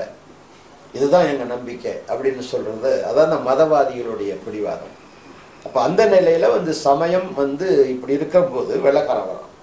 வெள்ளக்காரன் வந்தது பதினேழாம் நூற்றாண்டு வர்றான் இதுக்குள்ள நம்ம மண்ணில் என்ன வந்துடுச்சு? ஆரியம் இருக்கு ம- புத்தம் இருக்கு சமணம் இருக்கு ஜைனிசம் இருக்கு சைவம் இருக்கு வைணவம் இருக்கு இதோட சில பிரிவுகள் இருக்கு. இத்தனை மதங்கள் இங்கே இருக்கு. பத்தாவதுக்கு அரபு மார்க்கமும் வந்திருக்கு இஸ்லாம் வந்திருக்குது யூத மார்க்கமும் இருக்குது. ஏன்னா யூதர்கள் கிறிஸ்துவுக்கு முன்பே இங்கே இந்தியாவில் நிறைய பேர் இருக்கிறார் இப்போ பதிற்று பத்து எல்லாம் படிச்சீங்கன்னா யவனர்கள் என்ற ஒரு பிரிவு இந்த மண்ணில் இருந்ததெல்லாம் அங்க குறிப்பு காட்டுறாங்க. பொதுவா யூதர்கள் கேரளாவுல தான் இருந்ததா அதுதான் மேற்கு கரை தான் பாரசீகத்துக்கு பக்கம் உங்களுக்கு திரைக்கடல் ஓடியும் திரவியம் தேடுன்னு நம்ம சொல்லுவோம் இல்லையா? மரக்கலங்கள்ல சென்றாங்க. எங்க போனாங்க? ஆஸ்திரேலியாவுக்கா போனாங்க. பக்கத்துல இருக்கிற அரபு நாட்டுக்கு தான் மரக்கலம். அப்ப மேற்கு கரையில உள்ள மக்கள் பாரசீக மக்கள் யூதர்களோடு கலந்ததுனால தான் மேற்கு கரையில உள்ளவங்கலாம் கொஞ்சம் லட்சணமா சிவப்பா மூக்கு மூலியமா நல்லா இருப்பாங்க. நீங்க கிழக்க வர வர அந்த கலர் மாறி இருக்கு இந்த ஒரிஜினல் திராவிடியன் கலர் இருக்கு அப்ப அங்க வந்து முழுசும் இப்ப குஜராத்ல இருந்து பஞ்சாப்ல இருந்து பாருங்க. பஞ்சாப்ல இருந்து கலப்பு இருக்கு பாரசீகர்கள் பஞ்சாபுக்கு வர்றாங்க பஞ்சாபிஸ் எல்லாம் யாரு? ஒரு வகையில பார்த்தா நசரியர்கள். நசரிய விரதத்துல முடி தலைமுடி எடுக்காம தாடி முடி எடுக்கக்கூடாது யூத கட்டளை இருக்குது. அதான் இன்னும் அவங்க பின்பற்றுறாங்க. அப்போ அங்க அந்த கலை பாருங்க அந்த யூதனுடைய ஸ்ட்ரக்சர் மூக்கு மொழி பார்த்தீங்கன்னா அப்படியே யூத மாதிரியே இருப்பாங்க. பின்னால் மகாராஷ்டிரியன் குஜராத்திஸ் இவங்களெல்லாம் யூத கலப்புடைய மக்கள் தான் இங்கே சிரியன்ஸ் வந்தாங்க கேரளா பக்கம். சிறிய கலப்பு உள்ளவங்க ஆக இந்த நிலையில் யவனர்கள் யகூதர்கள் என்று சொல்லக்கூடிய யவனர்கள் யூதர்களும் வர்றாங்க. இப்போ இவ்வளோ மதமும் இங்கே இருக்குது யூத மதம் இருக்குது பாரசீக மதம் இருக்குது. இத்தனை மதம் பார்சி மதம்னு சொல்லுவாங்க. அக்னிய கடவுளாக கும்பிடுறவங்க சூரிய நமஸ்காரம் செய்கிறவங்க இத்தனை ஃபெய்த்தும் இந்தியா மண்ணில் இருக்குது இந்த நேரத்தில் பதினேழாம் நூற்றாண்டில் வந்த வெள்ளக்காரன் கொஞ்சம் கொஞ்சமாக நாடு பிடிச்சான். ஒவ்வொரு நாடாக பிடிச்சிட்டு வந்தான். பிடிச்சி கடைசியில் எல்லாத்தையும் பிடிச்சிட்ட உடனே எல்லாத்துக்கும் சேர்த்து ஆல் இந்தியான்னு பேர் வச்சான். இன்றைக்கும் நம்முடைய ரேடியோ கேட்டிங்கன்னா திஸ் இஸ் ஆல் இந்தியா ரேடியோன்னு தான் சொல்லுவானே தவிர இந்தியன் ரேடியோன்னு சொல்கிறது இல்லை கான்ஸ்டியூன்சிலேயே ஆல் இந்தியா ரேடியோன்னு தான் வச்சுருக்கு. அப்போ இந்த நிலையில் வெள்ளைக்காரன் வந்தோன்னா பார்க்குறான். கிறிஸ்டியானிட்டி அவனுக்கு தெரியுது. இது ஒரு குரூப் அப்படி தெரியுது. சரி கிறிஸ்டியானிட்டி இஸ்லாம் அது அவனுக்கு தெரியுது. புத்தம் விளங்குது அவனுக்கு. ஆனா இந்த மற்ற பிரிவுகள் சைவம் கௌமாரம் ஆரியானிசம் இந்த மாதிரி பிரிவுகள் அவனுக்கு ஒன்றும் பிளங்கலை. அதனால என்ன பண்ணா எல்லாத்துக்கும் மொத்தமா சேர்த்து ஒரே பேர் வச்சுட்டான். ஹிந்துயிசம் பேர் வச்சுட்டான். அப்ப ஹிந்துயிசம்ங்கிற பேரு மதத்துக்கு கொடுக்கப்பட்டது பதினேழாம் நூற்றாண்டு சமயத்துல தானே தவிர ஆதியில இல்லை. இதை வந்து ஆராய்ச்சியாளர்கள் நான் சொல்ற கருத்து இல்லை. இத்தனையோ இப்ப ஜவஹர்லால் நேரு டிஸ்கவரி ஆஃப் இந்தியாவில் எழுதியிருக்கிறார். இந்து என்ற பெயர் மதத்துக்கு கொடுக்கப்பட்டது வெகு பிற்காலத்திலே அப்படி இருக்கார் ஜவஹர்லால் நேரு போய் கோச்சுக்க முடியுமா? இல்லை அவர்கிட்ட அவரை நான் கண்டஸ்ட் பண்ண முடியுமா? அவருடைய அறிவென்ன என்னுடைய அறிவென்ன இப்போ அவரை போய் நான் அவரை சொன்னது பொய்ன்னு சொல்ல முடியுமா? அதே மாதிரி மகாத்மா காந்தியும் சொல்றார். இந்து மதம் என்பது ஒரு பிரி பிரிவுதானது. மொத்தமாக ஒரு பொது பேரை தவிர அது குறிப்பிட்ட மதத்தை குறிக்காதுன்றார். டாக்டர் ராதாகிருஷ்ணன் அதே மாதிரி கருத்து சொல்கிறாரு டாக்டர் அம்பேத்கர் சொல்றாரு. டாக்டர் லூனியா சொல்றாரு. இதெல்லாம் பார்த்தா மதத்துக்கு ஒரு பெயர் வச்சது ரொம்ப பிற்காலத்திலே தவிர ஆதி முதலா இல்லை. இப்ப சிந்து சமவெளி அந்த நாகரிகத்தை சுத்தி வந்ததுதான் இந்து மதம். இந்து இந்து மதம் இந்து மதம் இல்லை.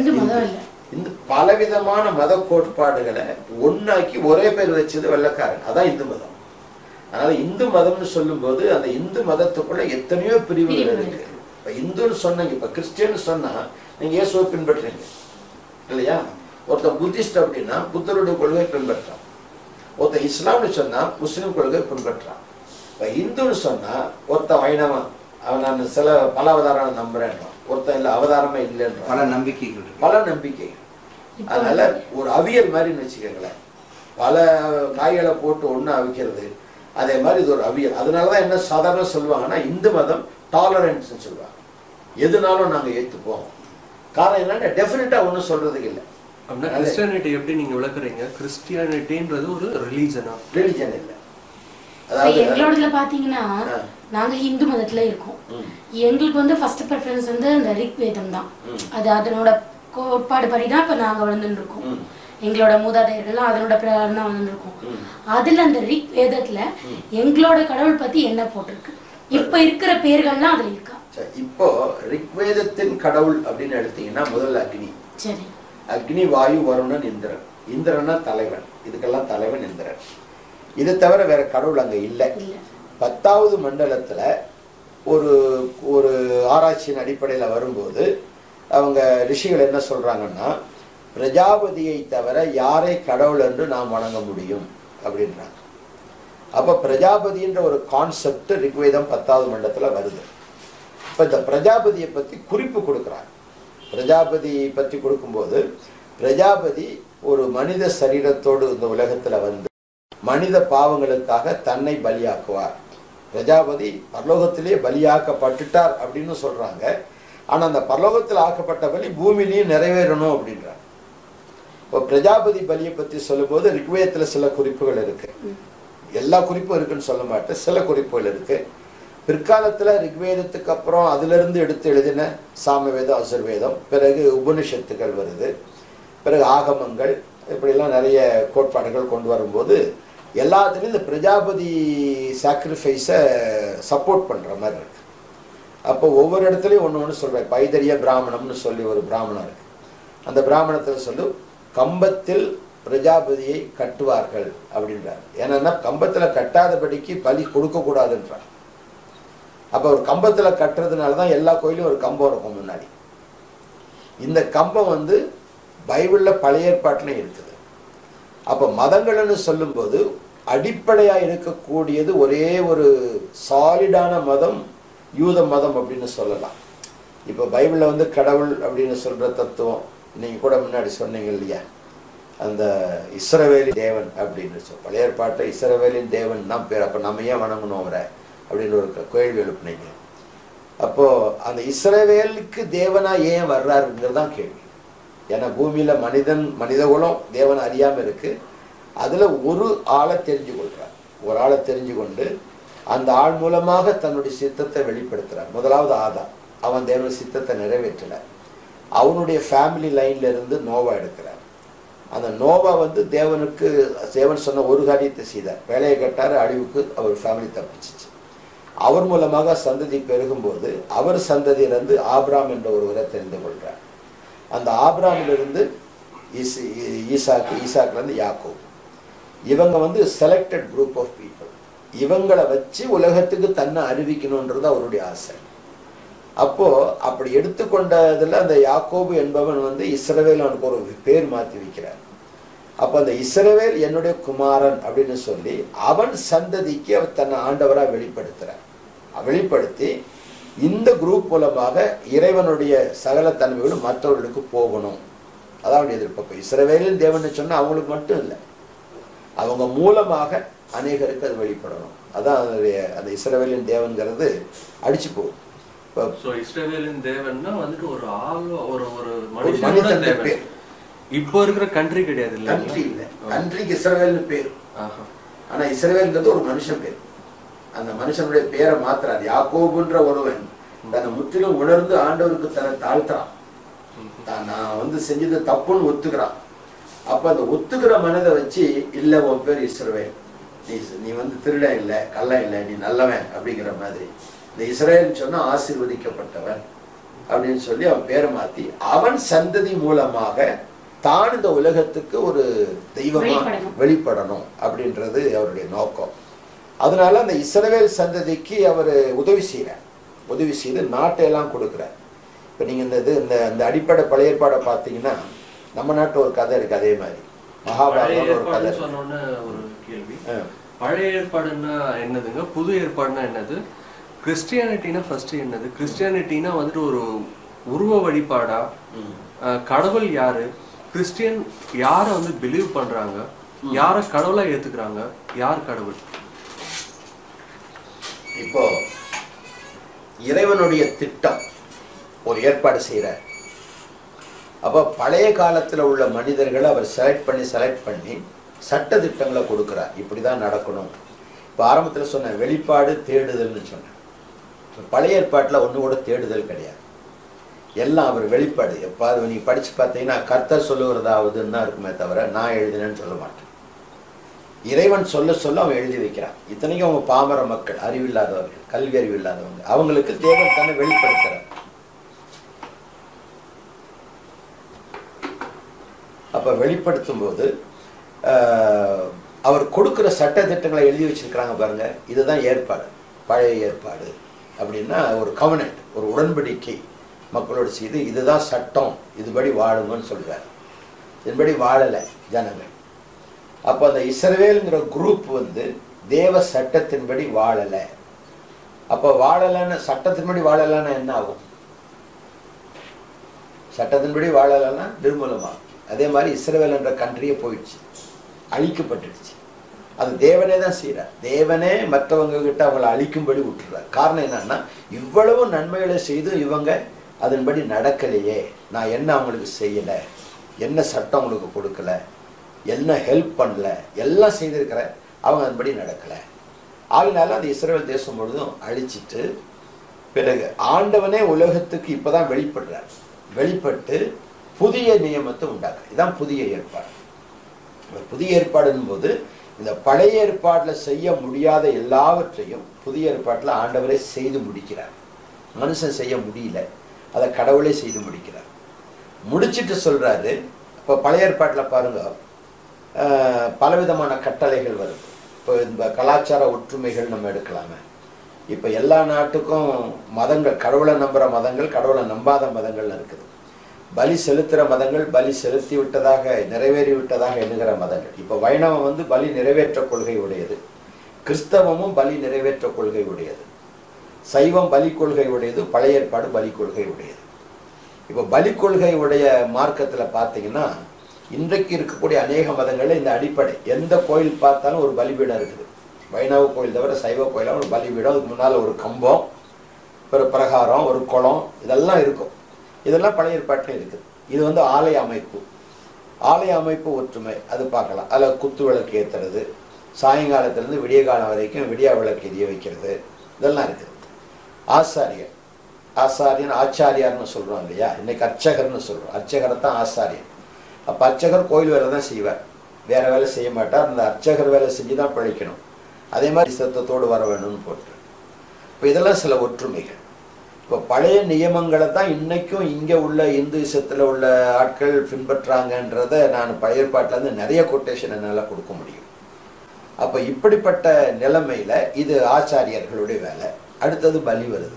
ஆச்சாரியர் பலி செலுத்துகிறார் அதே மாதிரி ரிக்வேதம் முழுதும் ஆச்சாரியர்கள் பலி யாகம் வளர்த்து பலி செலுத்தி பலி மிருகத்தை சுட்டு கொன்று அதை இறைச்சியை சாப்பிட்டு சோமபானம் குடித்த வரலாறுலாம் ரிக்வேதத்தில் இருக்கு.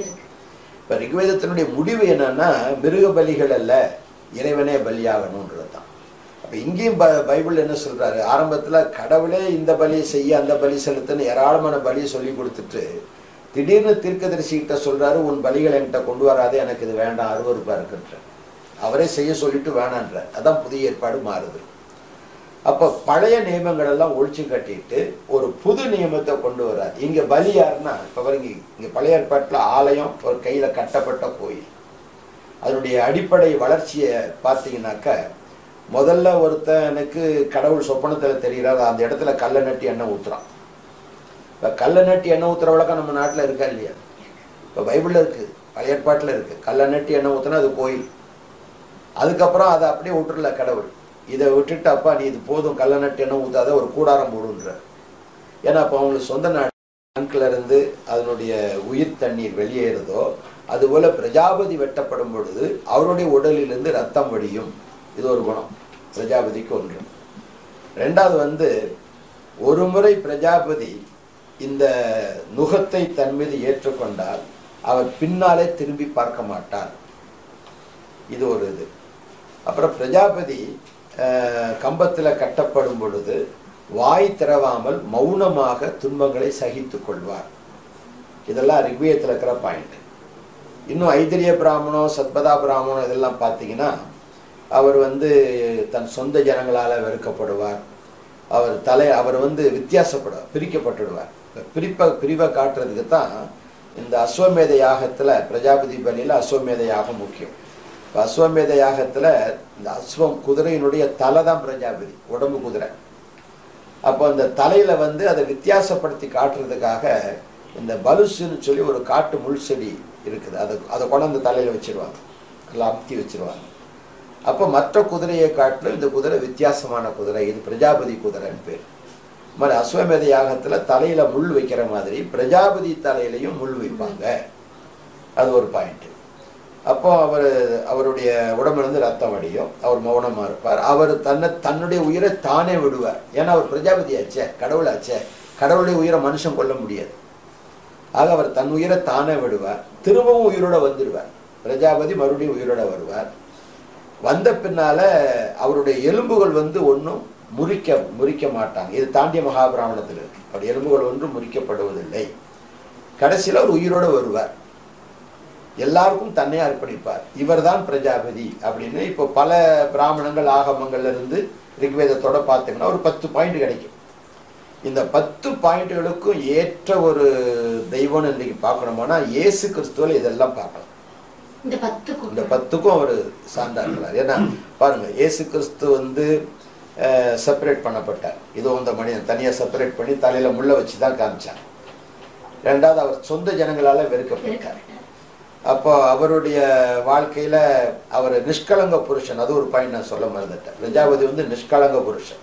குற்றம் பாவம் இல்லாத பரிசுத்தம் இப்போ உலகத்துல எல்லாரும் பாவியா பிறக்கிறோம். பாவம் பிறக்கிறவங்க எல்லாம் அவதாரமா வந்ததெல்லாம் உண்மை நினைச்சிட்டா கூட அந்த அவதாரங்களா வந்ததெல்லாம் எத்தனையோ பாவங்களை செஞ்சிருக்காங்க மனுஷன் செய்யற மாதிரி செஞ்சிருக்காங்க பாவமே இல்லாத ஒருத்தரை பார்க்கணுமானா இயேசு கிறிஸ்துவ தான் பார்க்க முடியும். அவர்கிட்ட தான் எந்த விதமான பாவம் இல்லை. அவரே கேட்கிறார் என்னில குற்றம் உண்டு என்று யார் சொல்லக்கூடும்? யார் இது வரைக்கும் சொல்லலை. அப்போ அவருடைய சரீரத்தில் ரத்தம் வடிகிறது. அவர் தன் உயிரை தானே தான் கொடுக்கிறார். பிதாவே என் உமது கரங்களில் என் ஆவி ஒப்பு கொடுக்குறேன். இவங்க குத்துறதுனாலேயோ சிலுவில் அடிச்சதுனாலேயோ சாகலை. அவரே சொல்றார் என் உயிரை யார் எடுத்துக்கொள்ள முடியாது நானே கொடுக்கிறேன். அதை கொடுக்க எனக்கு அதிகாரம் உண்டு. திரும்ப எடுக்க எனக்கு அதிகாரம் உண்டு. அப்படின்னு சொல்றார். அதே மாதிரி அவர் மறுபடியும் உயிர் தெழுவேன் ஏற்கனவே சொல்லிட்டார். சாரதுக்கு முன்னாடியே சொல்லிட்டார். நான் திரும்ப உயிர் தெழுவேன் அப்படின்றார். அதே மாதிரி உயிர் தெழுந்துட்டார். இன்றைக்கு எல்லாருக்கும் தன்னை அர்ப்பணிச்சிருக்கிறார். ஆக இந்த பிரஜாபதி கான்செப்ட்ல வர்ற அத்தனை பாயிண்ட்ஸும் இயேசு இதுக்கு கிறிஸ்துவில ரொம்ப மேட்சா இருக்கு. நான் இன்னைக்கு என்ன சொல்றேன்னா இயேசுவை தவிர வேறு ஒரு தெய்வத்துக்கு இத்தனை பாயிண்ட் இருக்குன்னு சொன்னா நான் ஏத்துக்கிறேன். நான் இல்லைன்னு சொல்லலை. எனக்கு தெரிஞ்ச வரை இயேசு தான் ஃபைனலா ஒருத்தர் இருக்கார். இதுக்கு மேல ஒருத்தர் இருக்கிறாரு இந்த வேதம் சொல்றதெல்லாம் இவருக்கு தான் பொருந்ததுன்னு ஒருத்தர் காமிச்சாருன்னா நான் ஏற்றுக்க ரெடியா இருக்கேன். இப்ப இந்த இந்து மதத்துல சாமி ஆடுறது குறி சொல்றதெல்லாம் இருக்குது. அதுக்கு அதை முன்னாடி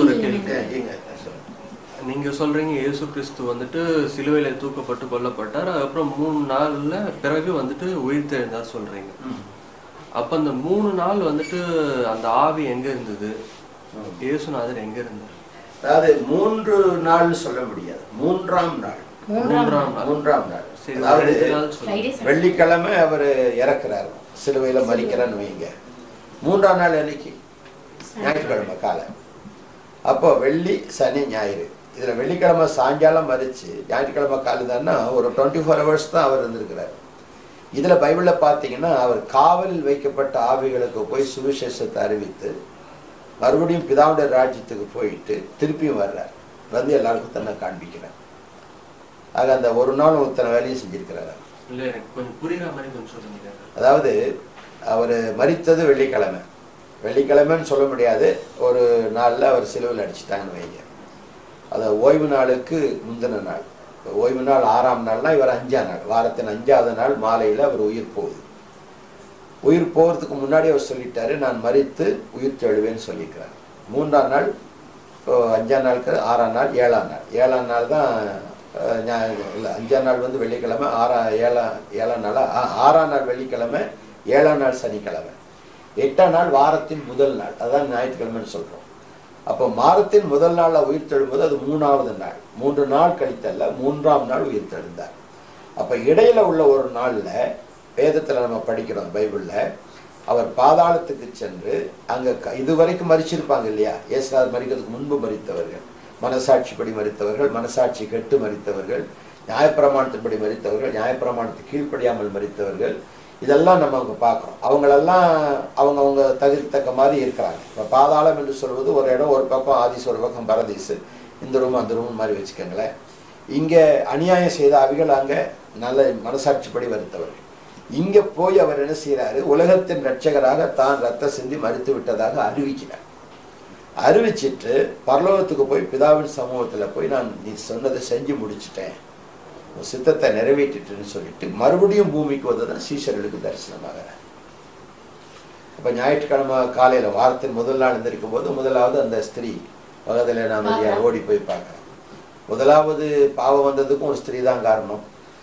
இயேசுவை பெற்றது ஒரு ஸ்திரீ தான் காரணம். அவர் உயிர்த்தெழுந்ததை பார்த்ததும் ஒரு ஸ்திரீ தான். அந்த ஸ்திரீகளுக்கு எவ்வளவு மதிப்பு பைபிள் இருக்குன்றது அன்னைக்கு தெரியாது. ரொம்ப உயர்த்துறார். பெண்களுக்கு இன்னைக்கு என்னமோ பெண்களுக்கு நல்ல உரிமை வேணும் பைபிளில் நிறைய உரிமை கொடுத்துருக்கு. அது மாதிரி இந்த கான்செப்ட் இப்போ நீங்க கேட்டீங்க குறி சொல்லுங்க சரி சாமி ஆடுறாங்கன்னு சொன்னாங்கன்னா உண்மையான ஒரு தெய்வம் யாருன்னு தெரிஞ்சுக்காம தங்கள் மனதுல ஏதோ ஒன்றை நம்புறாங்க.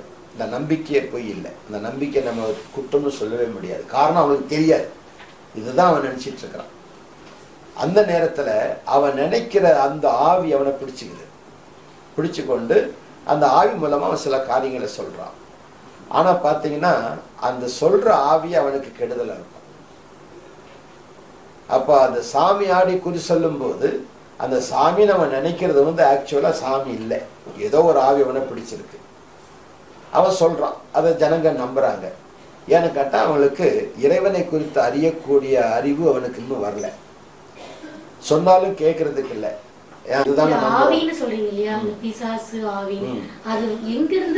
அதாவது? ஆரம்பத்துல நீங்க இந்த உலகத்தெல்லாம் உண்டாக்குன போது ஆண்டவர் வந்து இந்த உலகத்தை காப்பாத்துறதுக்கு ஒரு தூதனை உண்டாக்குறார். அந்த தூதன் என்ன செய்யறான் தன்னையும் தேவன்னு சொன்னதுனால அவர் என்ன செய்யறாரு அவனை தள்ளிடுறாரு. அந்த தள்ளப்பட்ட தூதன் தான் பிசாசு.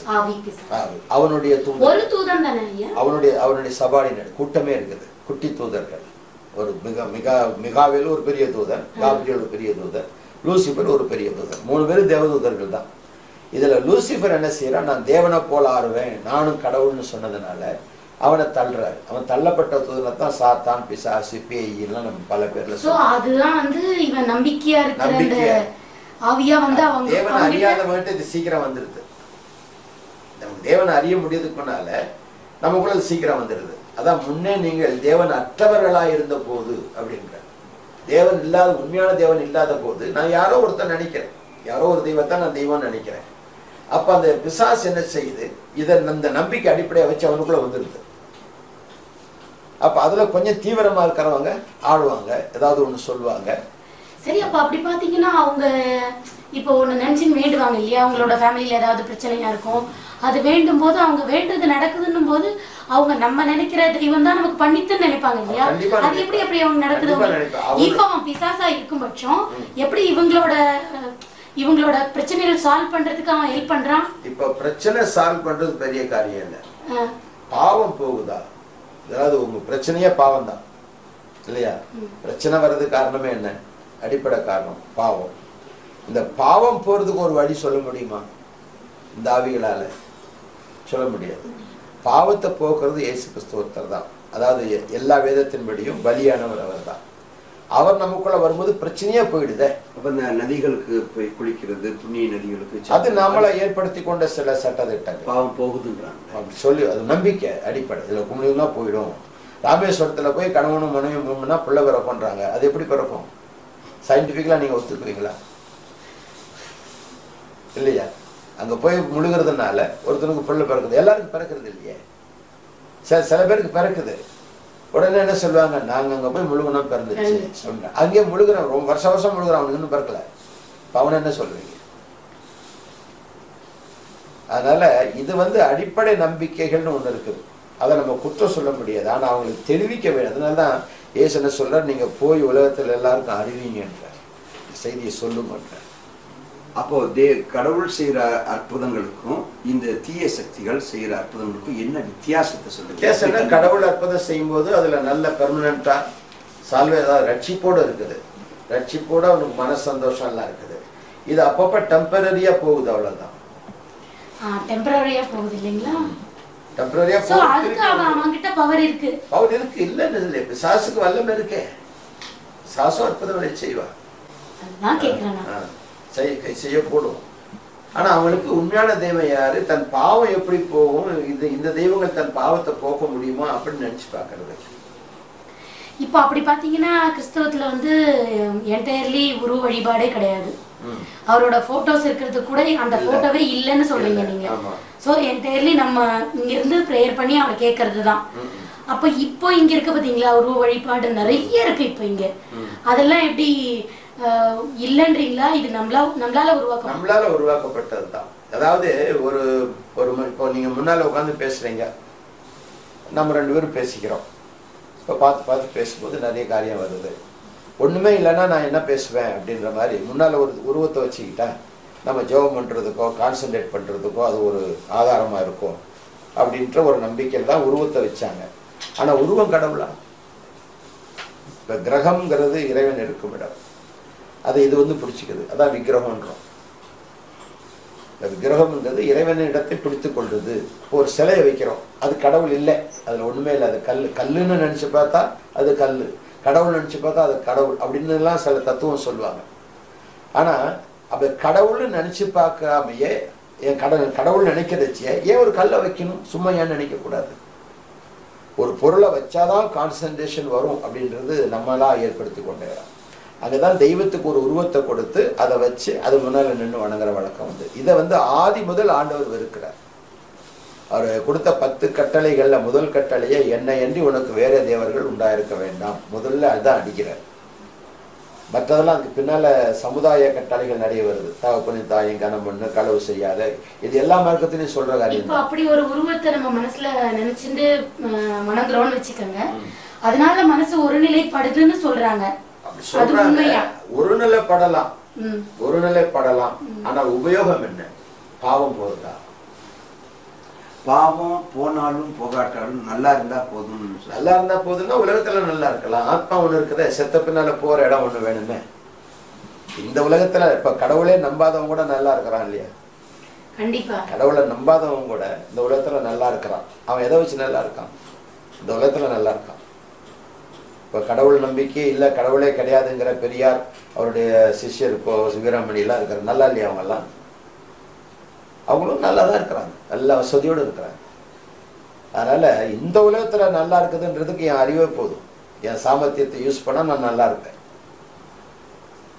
ஆனால் என்னுடைய சரீரத்துக்குள்ளே இருக்கக்கூடிய உள்ளான மனுஷன் அவ்யக்தான்னு சொல்லி ஒரு வேர்டு இருக்குது சமஸ்கிருத ரிக்வேதத்தில் அவ்யக்தா உள்ளான மனுஷன்.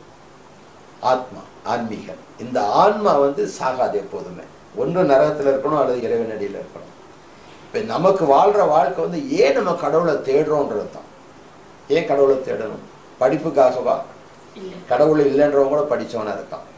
செல்வத்துக்காகவா? கடவுள் இல்லைன்றவன் செல்வந்தனா இருக்கான். சரீர சுகத்துக்காகவா? கடவுளை நம்பாதவனு சுகத்தியகியா இருக்கிறான். எது கடவுளை தேடுறோம்? ஸோ கடவுள் வாழ்க்கைன்றது முழுக்க முழுக்க வந்து பரலோக வாழ்க்கை. அப்படின்னா நீங்க வந்துட்டு உலக வாழ்க்கையில ஒண்ணுமே வந்து இல்ல, சொந்த உலக இருக்காது வாழ்க்கையிலேயே உலக வாழ்க்கையில என்ன பயன். இருக்கும்னு சொல்லுங்க. அதாவது உலக வாழ்க்கையிலேயே உலகத்தில் உள்ள பாவங்கள். இப்போ உலகம்னு சொல்லும்போது மாம்சத்தின் இச்சை கண்களின் இச்சை ஜீவனத்தின் பெருமை. இந்த மூன்றும் உலகத்தால் உண்டானவைகள்.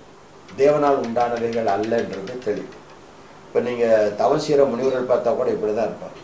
இப்படி இந்த சின்முத்தல் இப்படி இப்படி பிடிச்சி உட்காந்துருப்பார் இது ஆள் காட்டி வரல் இறைவனை காட்டுவர்கள் வரல் இது இறைவன். இது ரெண்டும் சேரணும்னா மூணை விடுன்றோம். மண்ணாசை பெண்ணாசை பொன்னாசை விடு. மாம்சத்தின் நிச்சை கண்களின் நிச்சை ஜீவனத்தை பெரிய விடு. அதுக்கு தான் இந்த மாதிரி உட்கார்ந்துருக்கிறது. அப்போ இது மூன்றும் விடுறது நம்ம உலகத்தில் தான் இருக்கோம். உலகத்தில் தான் இருக்கேன் நானும் ஒரு சேரில் உட்காந்துருக்கேன் தரையில் உட்காந்தாலும் சேரில் உட்காந்தாலும் இதனால எனக்கு மதிப்பில்லை அங்கே உட்கார்ந்தனால தாழ்வு இல்லை நான் உட்காந்துருக்கணும் அவ்வளோதான் இன்னைக்கு வீடு இருக்குது நாளைக்கே வீட்டை விட்டு நான் வெளியே போயிட்டேன்னா தெருவில் கூட இருப்பேன். அந்த இடத்துல போகும்போது நான் ஐயோ நான் தெருவுக்கு வந்துட்டேனேன்னு நினச்சேன்னா நான் உலகத்தோட ஒட்டியிருக்கேன்னு அர்த்தம். எந்த இடத்துலையும் ரம்பியமா இருக்கணும். அதுதான் உலகத்தோடு ஒட்டாமல் வாழ்வது. இயேசு வரும்போது சொன்னார் நான் உலகத்தான் அல்லாதது போல என்னை விசுவாசிக்கிறவர்களும் உலகத்தார் அல்ல அப்படின்னு அப்ப இன்னைக்கு இயேசு கிறிஸ்துவ உண்மையா ஒருவன் ஏற்றுக்கொள்ளும் போது எந்த இடத்துல இருந்தாலும் அவன் சந்தோஷமா இருக்கும். மற்றவங்கன்னா இப்போ பாருங்க ஒரு சின்ன ஒரு தோல்வி ஆயிடுச்சு.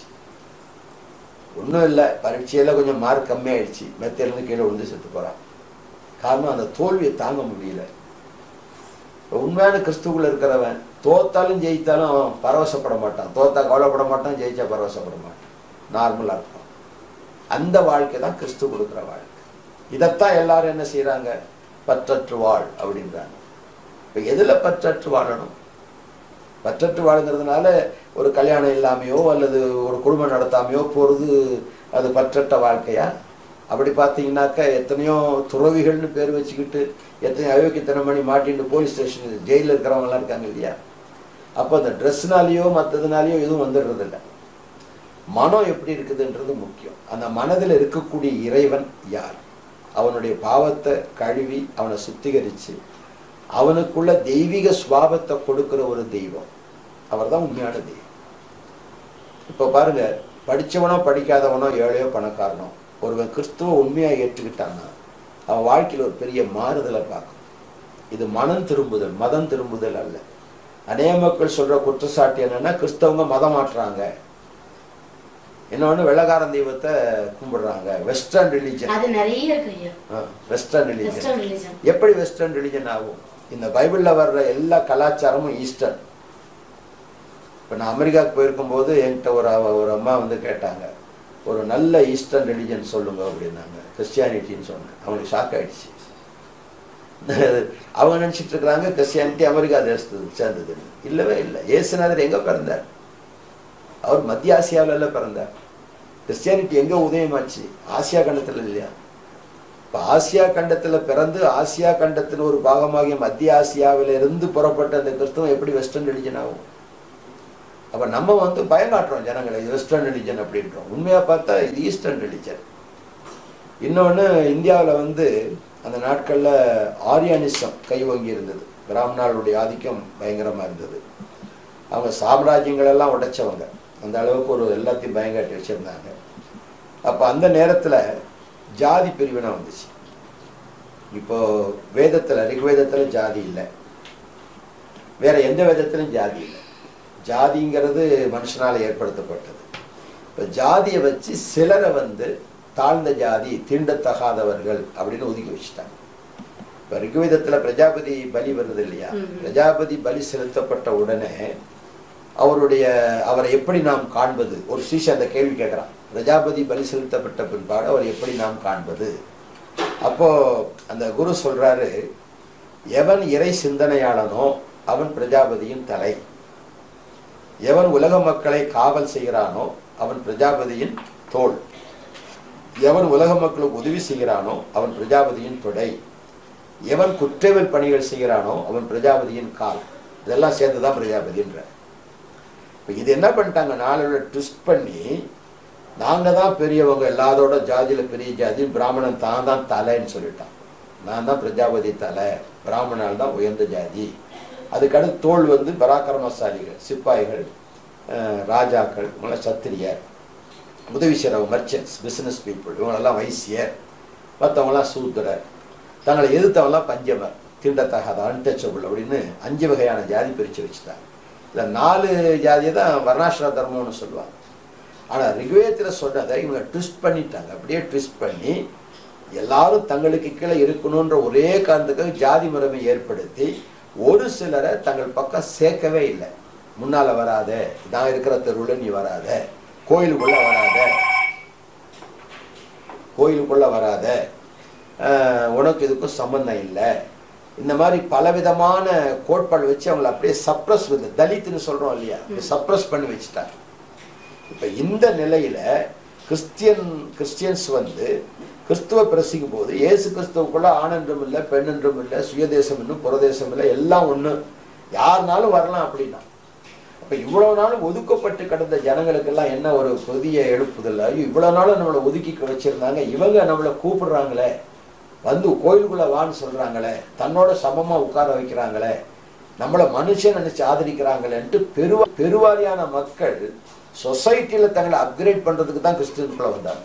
அவங்க எல்லாம் கிறிஸ்துவ அறிஞ்சு வந்தாங்கன்னு நான் சொல்ல மாட்டேன். சொசைட்டில நம்மளையும் மனுஷனா நினைக்கிறதுக்கு ஒரு ஆள் வர்றாங்க. இதுல ஈக்குவல் ஹலோ விக்கிரகம் இல்ல. இப்ப இருக்கிற உருவம் கூட அவரோடது இல்லைன்றது உங்களோட உங்களோடது உங்களோட திங்க் அப்படி பார்த்தா நம்ம ஹிந்துஸ்ல நிறைய விக்கிரகங்கள் இருக்கு. இல்லாத உருவங்களே கிடையாது. அந்த அளவுக்குலாம் இருக்கு. இப்ப இதெல்லாம் மனுஷனால உண்டாக்கப்பட்டதா? அப்படி மனுஷன் உண்டாக்கினாக்கா இது எப்போதுல இருந்து ஆரம்பிச்சது? நம்ம ரிக்வேதத்துல சொல்லியிருக்கா இந்த மாதிரி தான் விக்கிரகம் இருக்கும்னு நம்ம ரிக்வேதத்துல சொல்லியிருக்கா. ரிக்வேதத்துல விக்கிரகங்களை பற்றி எதுவுமே இல்லை. ஏன்னா அங்கே தெய்வங்களே இல்லாத நிலையில விக்கிரகம் வர்றதுக்கு வழி இல்லை. அதுல ஞானிகள் வந்து இறைவனை தேடினது தான் எழுதி வச்சிருக்கு. விக்கிரகங்கள் உருவானது ஆதியிலிருந்தே இருக்கு. ஆதி காலத்தில் பாலஸ்தீனத்தில் இல்லாத விக்கிரகங்கள் உலகத்தில் எங்கேயுமே கிடையாது. இப்போ அந்த அரபு நாடுன்னு சொல்கிறோம் இல்லையா? ஈரான் ஈராக்கு தான் அந்த காலத்து பாபிலோன். பாபிலோன் நாடு ஒரு காலத்தில் விக்கிரகாராத நாடாக இருந்தது. பெர்ஷியான்னு சொல்கிறோம் அதுதான் ஈரான் ஈராக்கு. பின்னால் அரபு நாடுகள். அரபியர்கள்லாம் இப்போ கிறிஸ்துவுக்கு பின் எழுநூறு ஆண்டுகள் கழித்து தான் முஸ்லீமாக மாறுறாங்க. அதுக்கு முன்பு அவர்கள் விக்கிரக ஆராதனை செய்தாங்க. கல் வணக்கமெல்லாம் இருந்தது. யூதர்களும் கூட அதுக்கு முன்பு விக்கிரக வழிபாடு செய்தவங்க தான். விக்கிரகம் விக்கிரகம்ன்றது நோவா காலத்திலிருந்தே இருக்குது இருக்கு.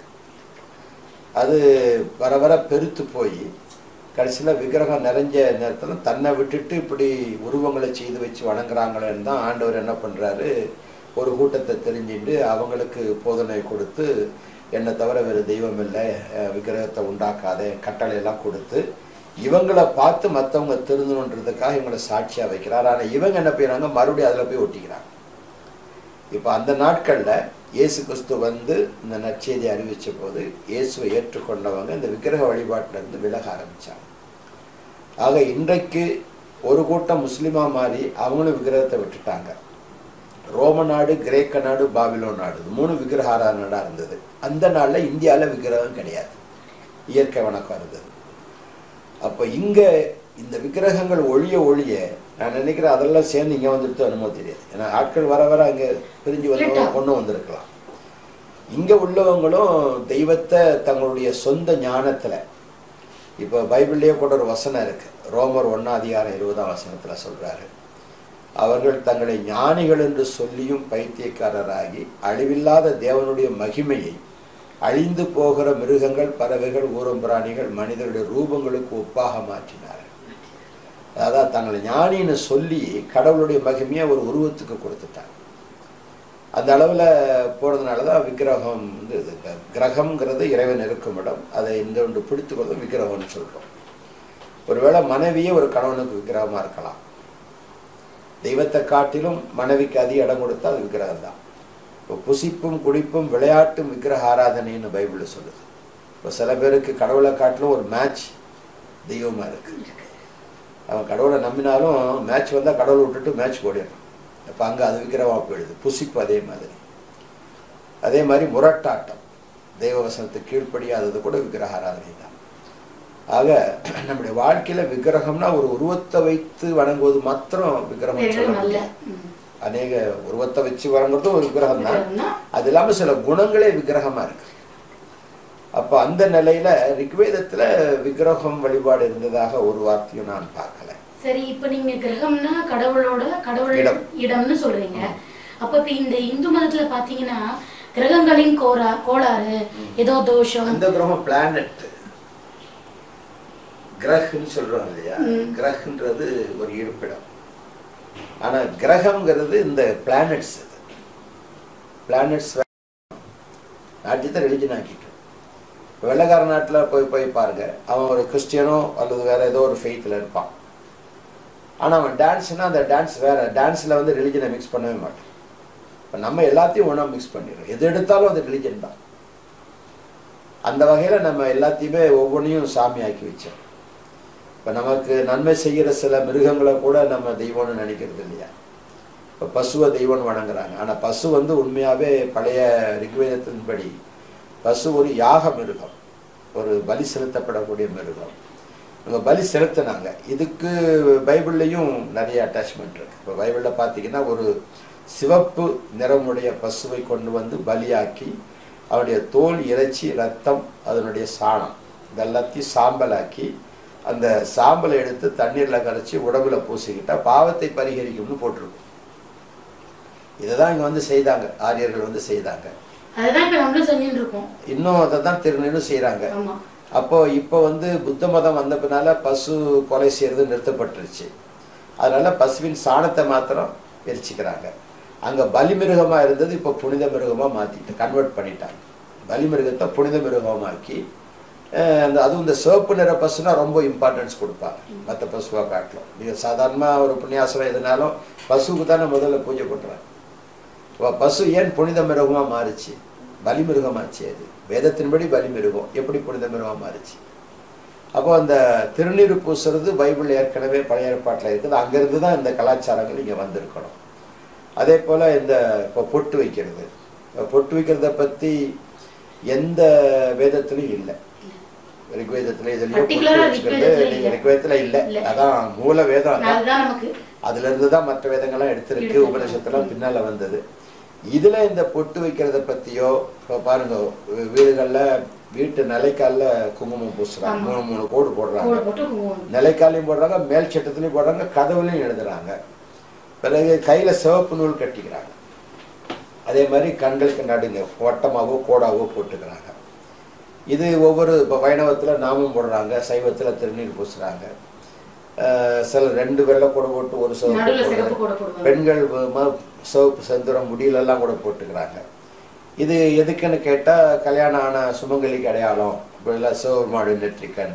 அது மற்றவங்க கண் பார்வை படாமல் இருக்கிறதுக்கு ஒரு தடுப்பு. இந்த மாதிரி காரணங்கள் சொல்கிறாங்களே தவிர வேத வேதத்திலிருந்து ஒருத்தர் ஆன்சர் பண்ணலை. ஏன்னா வேதத்தில் இல்லை. ஆனால் பைபிளில் பார்த்தீங்கன்னா இதுக்கு ரொம்ப கிளியர் ஆன்சர் இப்போ நான் பைபிளை வந்து நான் அதிகமாக எடுத்து சொல்கிறதுக்கு காரணம் நம்ம நாட்டில் உள்ள கலாச்சாரங்கள் அநேக கலாச்சாரங்கள். உண்மையாக என்னுடைய வாழ்க்கையில் நான் ஆதியில் இப்படி இல்லை நான் கிறிஸ்தவன் இல்லை ஆதியில். இன்றைக்கு நான் வந்து கிறிஸ்தவ மதத்தை சேரலை. கிறிஸ்துவ தான் சேர்ந்திருக்கிறத கிறிஸ்தவ மதத்தை நான் சேரலை. என்னுடைய வாழ்க்கையில் நான் இறைவனை தேடினது ரிக்வேதம் படிச்சு தான் ரிக்வேதம் படித்ததுனால மற்ற உபநிஷத்துக்கள் அதாவது கண்ட கொஞ்சம் கொஞ்சம் தெரிஞ்சுக்கிட்டேன். ஸ்கூலில் படிக்கும்போது கொஞ்சம் சமஸ்கிருதம் படித்தேன். அப்புறம் பெரியவங்ககிட்டலாம் கேட்பேன். அவங்க சொல்கிறத சீக்கிரம் மனப்பாடம் பண்ணிடுவேன். பண்ணி பண்ணி இப்படி மந்திரங்களை ஓதுறதுல ஒரு பெரிய சின்ன பையன் பாரு இப்படி நல்லா சொல்கிறான உடனே எனக்கு ஒரு பெருமை வந்துடும் நான் இன்னும் கொஞ்சம் படித்தா நல்ல பெரிய ஆளாகலான்னு இப்படி தான் படித்தேன். கடைசியில் ஒவ்வொன்றுக்கும் விளக்கம் கேட்டேன். இப்போ வந்து சிலாக்கிம் பரஞானம் சிலாசங்க பிரதாரனே அப்படின்னு குருகதியில் ஒரு வசனம் இருக்குது சிலையை வணங்குகிறவன் ஞானம் பெறுவானா? சிலை வணங்குறவன் சிலை போலவே இருப்பான் அப்படின்னு அதனுடைய அர்த்தம். அப்போ நான் கேட்டேன் நம்ம கோயிலில் ஏன் இத்தனை விக்கிரகம் வச்சுருக்கோம்? அப்படின்னு கேட்டேன். சிலையை வணங்குறவன் காரிருளில் நாசமாவான். இது அசுர்வேதத்தில் இருக்கு. ஒன்பதாம் அதிகாரம் நாற்பதாம் வசம் அப்போது இவ்வளவு சிலையை வணங்கிட்டு நான் கடைசியில் நான் இருளுக்கு தான் போகணுமா? அப்படின்னு ஒரு கேள்வி. இன்னொரு கேள்வி இவ்வளவு தெய்வங்களை நம்ம வச்சிருக்கிறோம். ஆனால் இவங்களை பற்றி ஒரு குறிப்பும் ரிக்வேதத்தில் இல்லையே. ஏன் ரிக்வேதத்தில் இல்லாத தெய்வங்களை நம்ம ஏன் வணங்கணும்? இந்த மாதிரி கேள்வி. இப்போ செத்த என் ஆத்மா எங்கே போகும்? இப்போ எங்கள் தாத்தா இறந்துட்டார். அவருக்கு ஒரு பத்து நாள் திவசம். இரவும் பகலும் பூஜை நடந்தது. அப்போ நான் கேட்டேன் எதுக்கு இவ்வளோ பெரிய பூஜைன்னா அவர் பரலோகம் போகணும் அவர் ஆத்மா சாந்தி அடையணும் அப்படின்னு சொன்னாங்க. சரி முடிஞ்சுது. பத்து நாள் முடிஞ்சது. அடுத்த வருஷமும் அதே நாளில் திவசம் ஆரம்பித்தார் அப்போ நான் கேட்டால் போன வருஷம் போய் சேரலையான்னு கேட்டேன். போன போன வருஷமே எல்லாம் பூஜை முடிஞ்சிடுது. போயிருக்கணும் தானே? ஏன் வருஷ வருஷம் செய்கிறோம் ஒவ்வொரு வருஷமும் ஏன் திவசம் செய்கிறோம் அப்போ செத்து போனவங்களுக்கு நம்ம திவசம் பண்ணுறதுனால அந்த ஆத்மா சாந்தி அடையுன்ற நம்பிக்கை இருந்தால் ஒரு ஒரு தடவை ஒரு தடவை செஞ்சால் போதும் ஏன் வருஷம் வருஷம் செய்கிறோம் இதே கேள்வி பைபிள் எழுதுறார். பைபிள் எழுப்புறார்.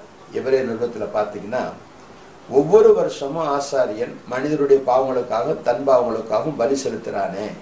ஏன் செலுத்துறான்? அவருடைய மனசாட்சியில பாவம் மன்னிக்கப்பட்ட நிச்சயம் இல்லை. அதனால வருஷா வருஷம் செலுத்துகிறான் அதே மாதிரி வருஷா வருஷம் திவசமோ ஒரு பண்டிகையோ ஒரு திருவிழாவோ நம்ம போகிறோம் இது செஞ்சிட்டோம்னா நமக்கு ஒரு பெரிய கடன் தீர்ந்த மாதிரி அப்படின்னு நினச்சிக்கிறோம். அப்போ இறைவன் வந்து எல்லாத்தையும் அவர் செஞ்சு முடிச்சிட்டு நீ ஒன்றும் செய்ய வேணாம் என்ன ஃபாலோ பண்ணுங்க. இந்த இயேசு கிறிஸ்துவனுடைய உபதேசம் ரொம்ப சிம்பிள் ஃபாலோ பண்ணுறதுக்கு அப்போது நான் படித்த கலாச்சாரங்கள் நான் எதிர்பார்த்த வேதத்தின் முடிவு இயேசுவாக இருக்கிறத கொண்டு நான் இயேசு ஏற்றுக்கிட்டேன். இப்போ சின்ன வயசில் சில மந்திரங்கள் சொல்லி கொடுத்தாங்க. ஓம் ஓம் குரு சவிதுர் வரண்யம் பருகோ தேவசிய தீமகி தியோ யோன பிரசோதயா இது காயத்ரி காயத்ரி மந்திரம். ரொம்ப விசேஷமான மந்திரம் ரொம்ப உயர்ந்த மந்திரம்னுவாங்க. அதில் என்ன சொல்றாருன்னா அகில உலகத்தையும் அண்ட சராசரங்களையும் இறைவன் சிருஷ்டித்தார். அவர் பேரொழியாய் இருக்கிறார். யார் நம் உள்ளத்தை தூண்டுகிறாரோ அவர் அந்த பேரொழியை தியானம் செய்வோம். அவ்வளோதான் இருக்குது. இதில் எந்த ரிலிஜனோ எந்த மதமோ எந்த தெய்வத்தின் பெயரோ இல்லை. உள்ளத்தை தூண்டுகிறவரை நாம் தியானம் செய்வோம். இவ்வளோ சிம்பிளான ஒரு காரியம். அப்போ என்னை தூண்டு விடுவர் யார்? என்னை தூண்டுறவர் யார்? நான் ஆண்டவர் அறிய அறிய முடியல. அவராகவே என்ன காட்டலன்னா நான் அறிய முடியாது.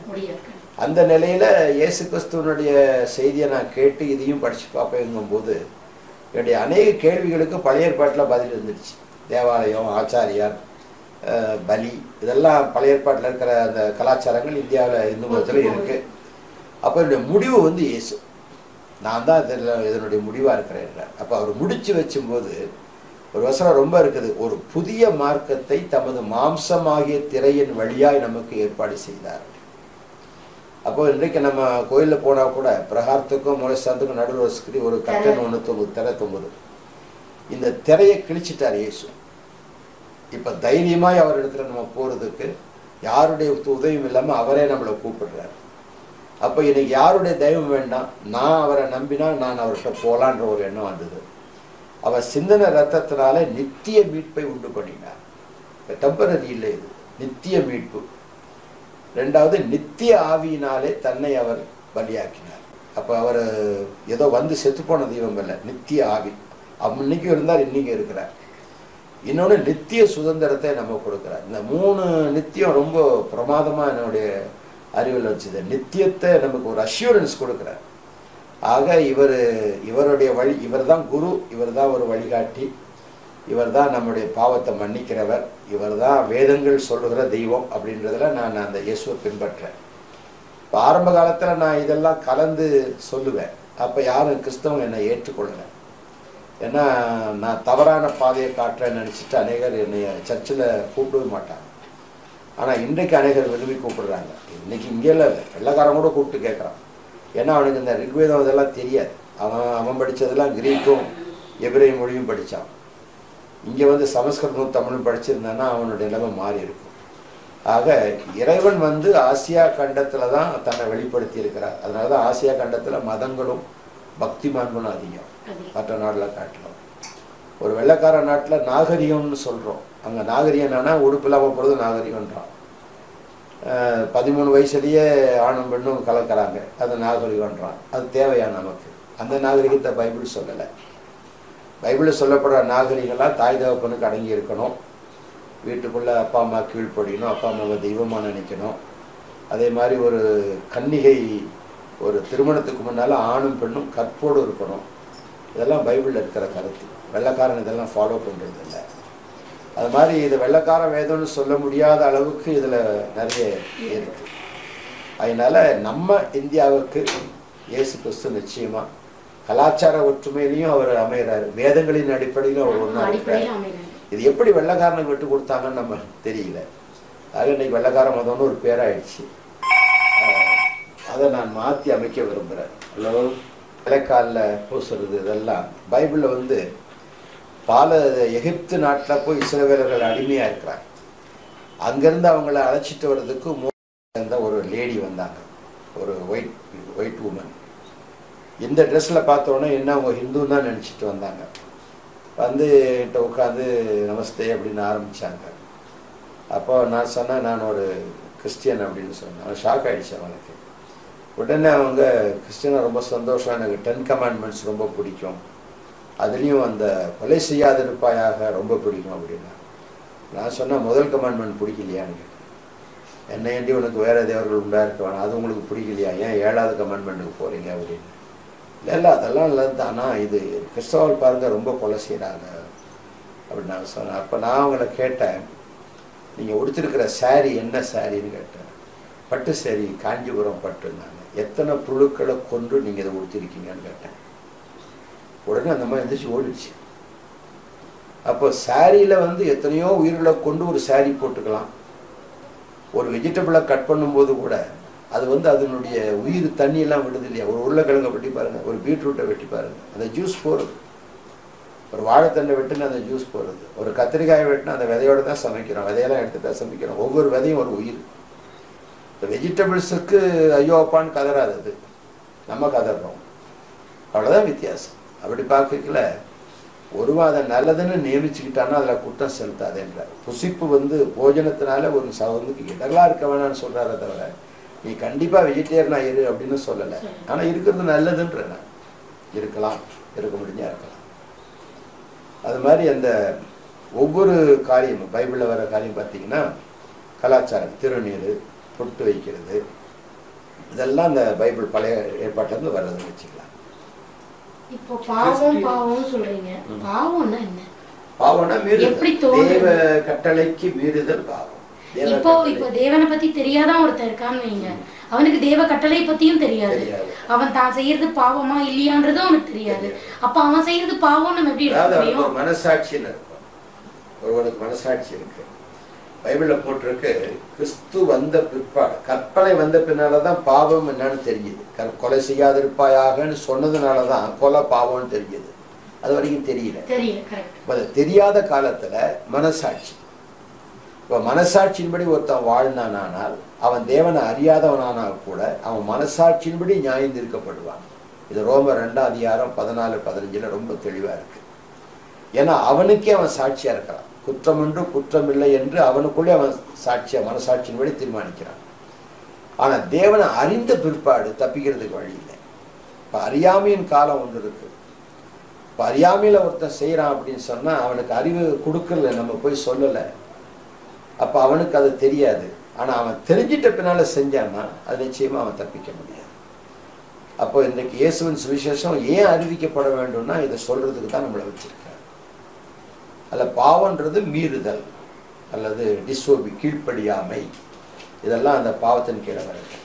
கிறிஸ்டியன்ஸ்லாம் பார்த்தீங்கன்னா வந்து ஒயிட் ட்ரெஸ் தான் போடுறாங்க. எங்கேயும் காவி ட்ரெஸ் போடுறாங்க. அது நல்ல கேள்வி. நான் கேட்டா ஒயிட் ட்ரெஸ் போடுறதோட காய் போட்டுக்கிட்டா நம்ம நாட்டுக்கு நல்லதுன்னு நினைக்கிறவன் நான். ஒயிட் ஏன் போடணுன்றது எனக்கே விளங்கலை. ஏன்னா இல்ல அப்படி எதுவும் இப்ப பைபிள்ல ஒயிட் அப்படி ஒயிட்டு தான் போடணும்னு இல்லை. அதாவது வெண்வஸ்திரம் தரித்தவர்களாய் அப்படின்னுட்டு வெளிப்படுத்தல சில வசனங்கள் வருது. வெள்ளையங்கி தரித்திருக்கிற இவர்கள் யார் அப்படின்னு. இவங்கெல்லாம் பரிசுத்தர்கள் அப்படின்னு உடனே இங்க இருக்கிறவங்களும் வெள்ளை போட்டுக்கிட்டா பரிசுத்தம் அப்படின்னு நினைக்கிறாங்க. அந்த வெண்மை என்பது என்னன்னா பரிசுத்தத்துக்கு ஓமையா தூய்மை அப்படிங்கிறதுக்கு வெள்ளை வெளியேர்னு அவன் உள்ளவங்க நல்லா கள்ளங்கபடமற்ற உள்ளன்னு சொல்றேன் இல்லையா? அதுதான். இப்போ உடம்புல ட்ரெஸ் வெள்ளையா இருந்து உள்ளத்துல எத்தனையோ விதமான பாவ அழுக்குகள் இருந்ததுன்னா அந்த ட்ரெஸ்ஸு அதுக்கு காப்பாற்றாது நான் ஏன் காவி போடுறேன்னா இந்த நாட்டுக்கு இந்த கலர் ஒரு பக்தி கலராக நினைக்கிறார். இந்த காவின்றது எப்படி வந்ததுன்னு சொன்னால் பச்சை வடம்னு பேரு. வடம்னா ரத்தம். பச்சை ரத்தத்தில் துணியை துவைக்கிறது. கொடிக்கம்பத்தில் காவி கொடி கட்டுறாங்களே ஏன்? கோயிலில். ஏன் காவி துணியை அவங்க வச்சிருக்காங்க? இப்போ காவி என்பது ரத்தம். அந்த ரத்தத்தில் துணியை துவைச்சி எடுக்கிறது. அப்போ இவர்கள் தங்கள் வஸ்த ஆட்டுக்குட்டி ரத்தத்தில் தங்கள் வஸ்திரத்தை தோய்த்து வெளுத்தவர்கள்னு வெளி வெளிப்படுத்தல இருக்கு. அப்போ பரிசுத்தர்களுக்கு என்ன வருதுன்னாக்க தங்களுடைய வஸ்திரத்தை கடையில பார்த்துருக்கேன். மூங்கில் குழாயில டீ கடைக்காரன் ஊத்துறான் இங்கே அவன் குவளையில் இங்கே பிடிச்சிக்கிறான். ஆனால் காசை மட்டும் கையில் வாங்கி போட்டுக்கிறான். இந்த மாதிரி சிலதெல்லாம் இருக்கு. அப்போ இந்த மாதிரி நிலைமையில கிறிஸ்தவர்கள் வந்தபோது கிறிஸ்துவுக்குள்ள ஜாதி இல்லை. எல்லாரும் சமம். நீங்களும் கோயிலுக்கு வரலாம். ஆண்டவர் உங்களும் ஏற்றுப்பார் எங்களோட சமமாக உட்காரலாம்.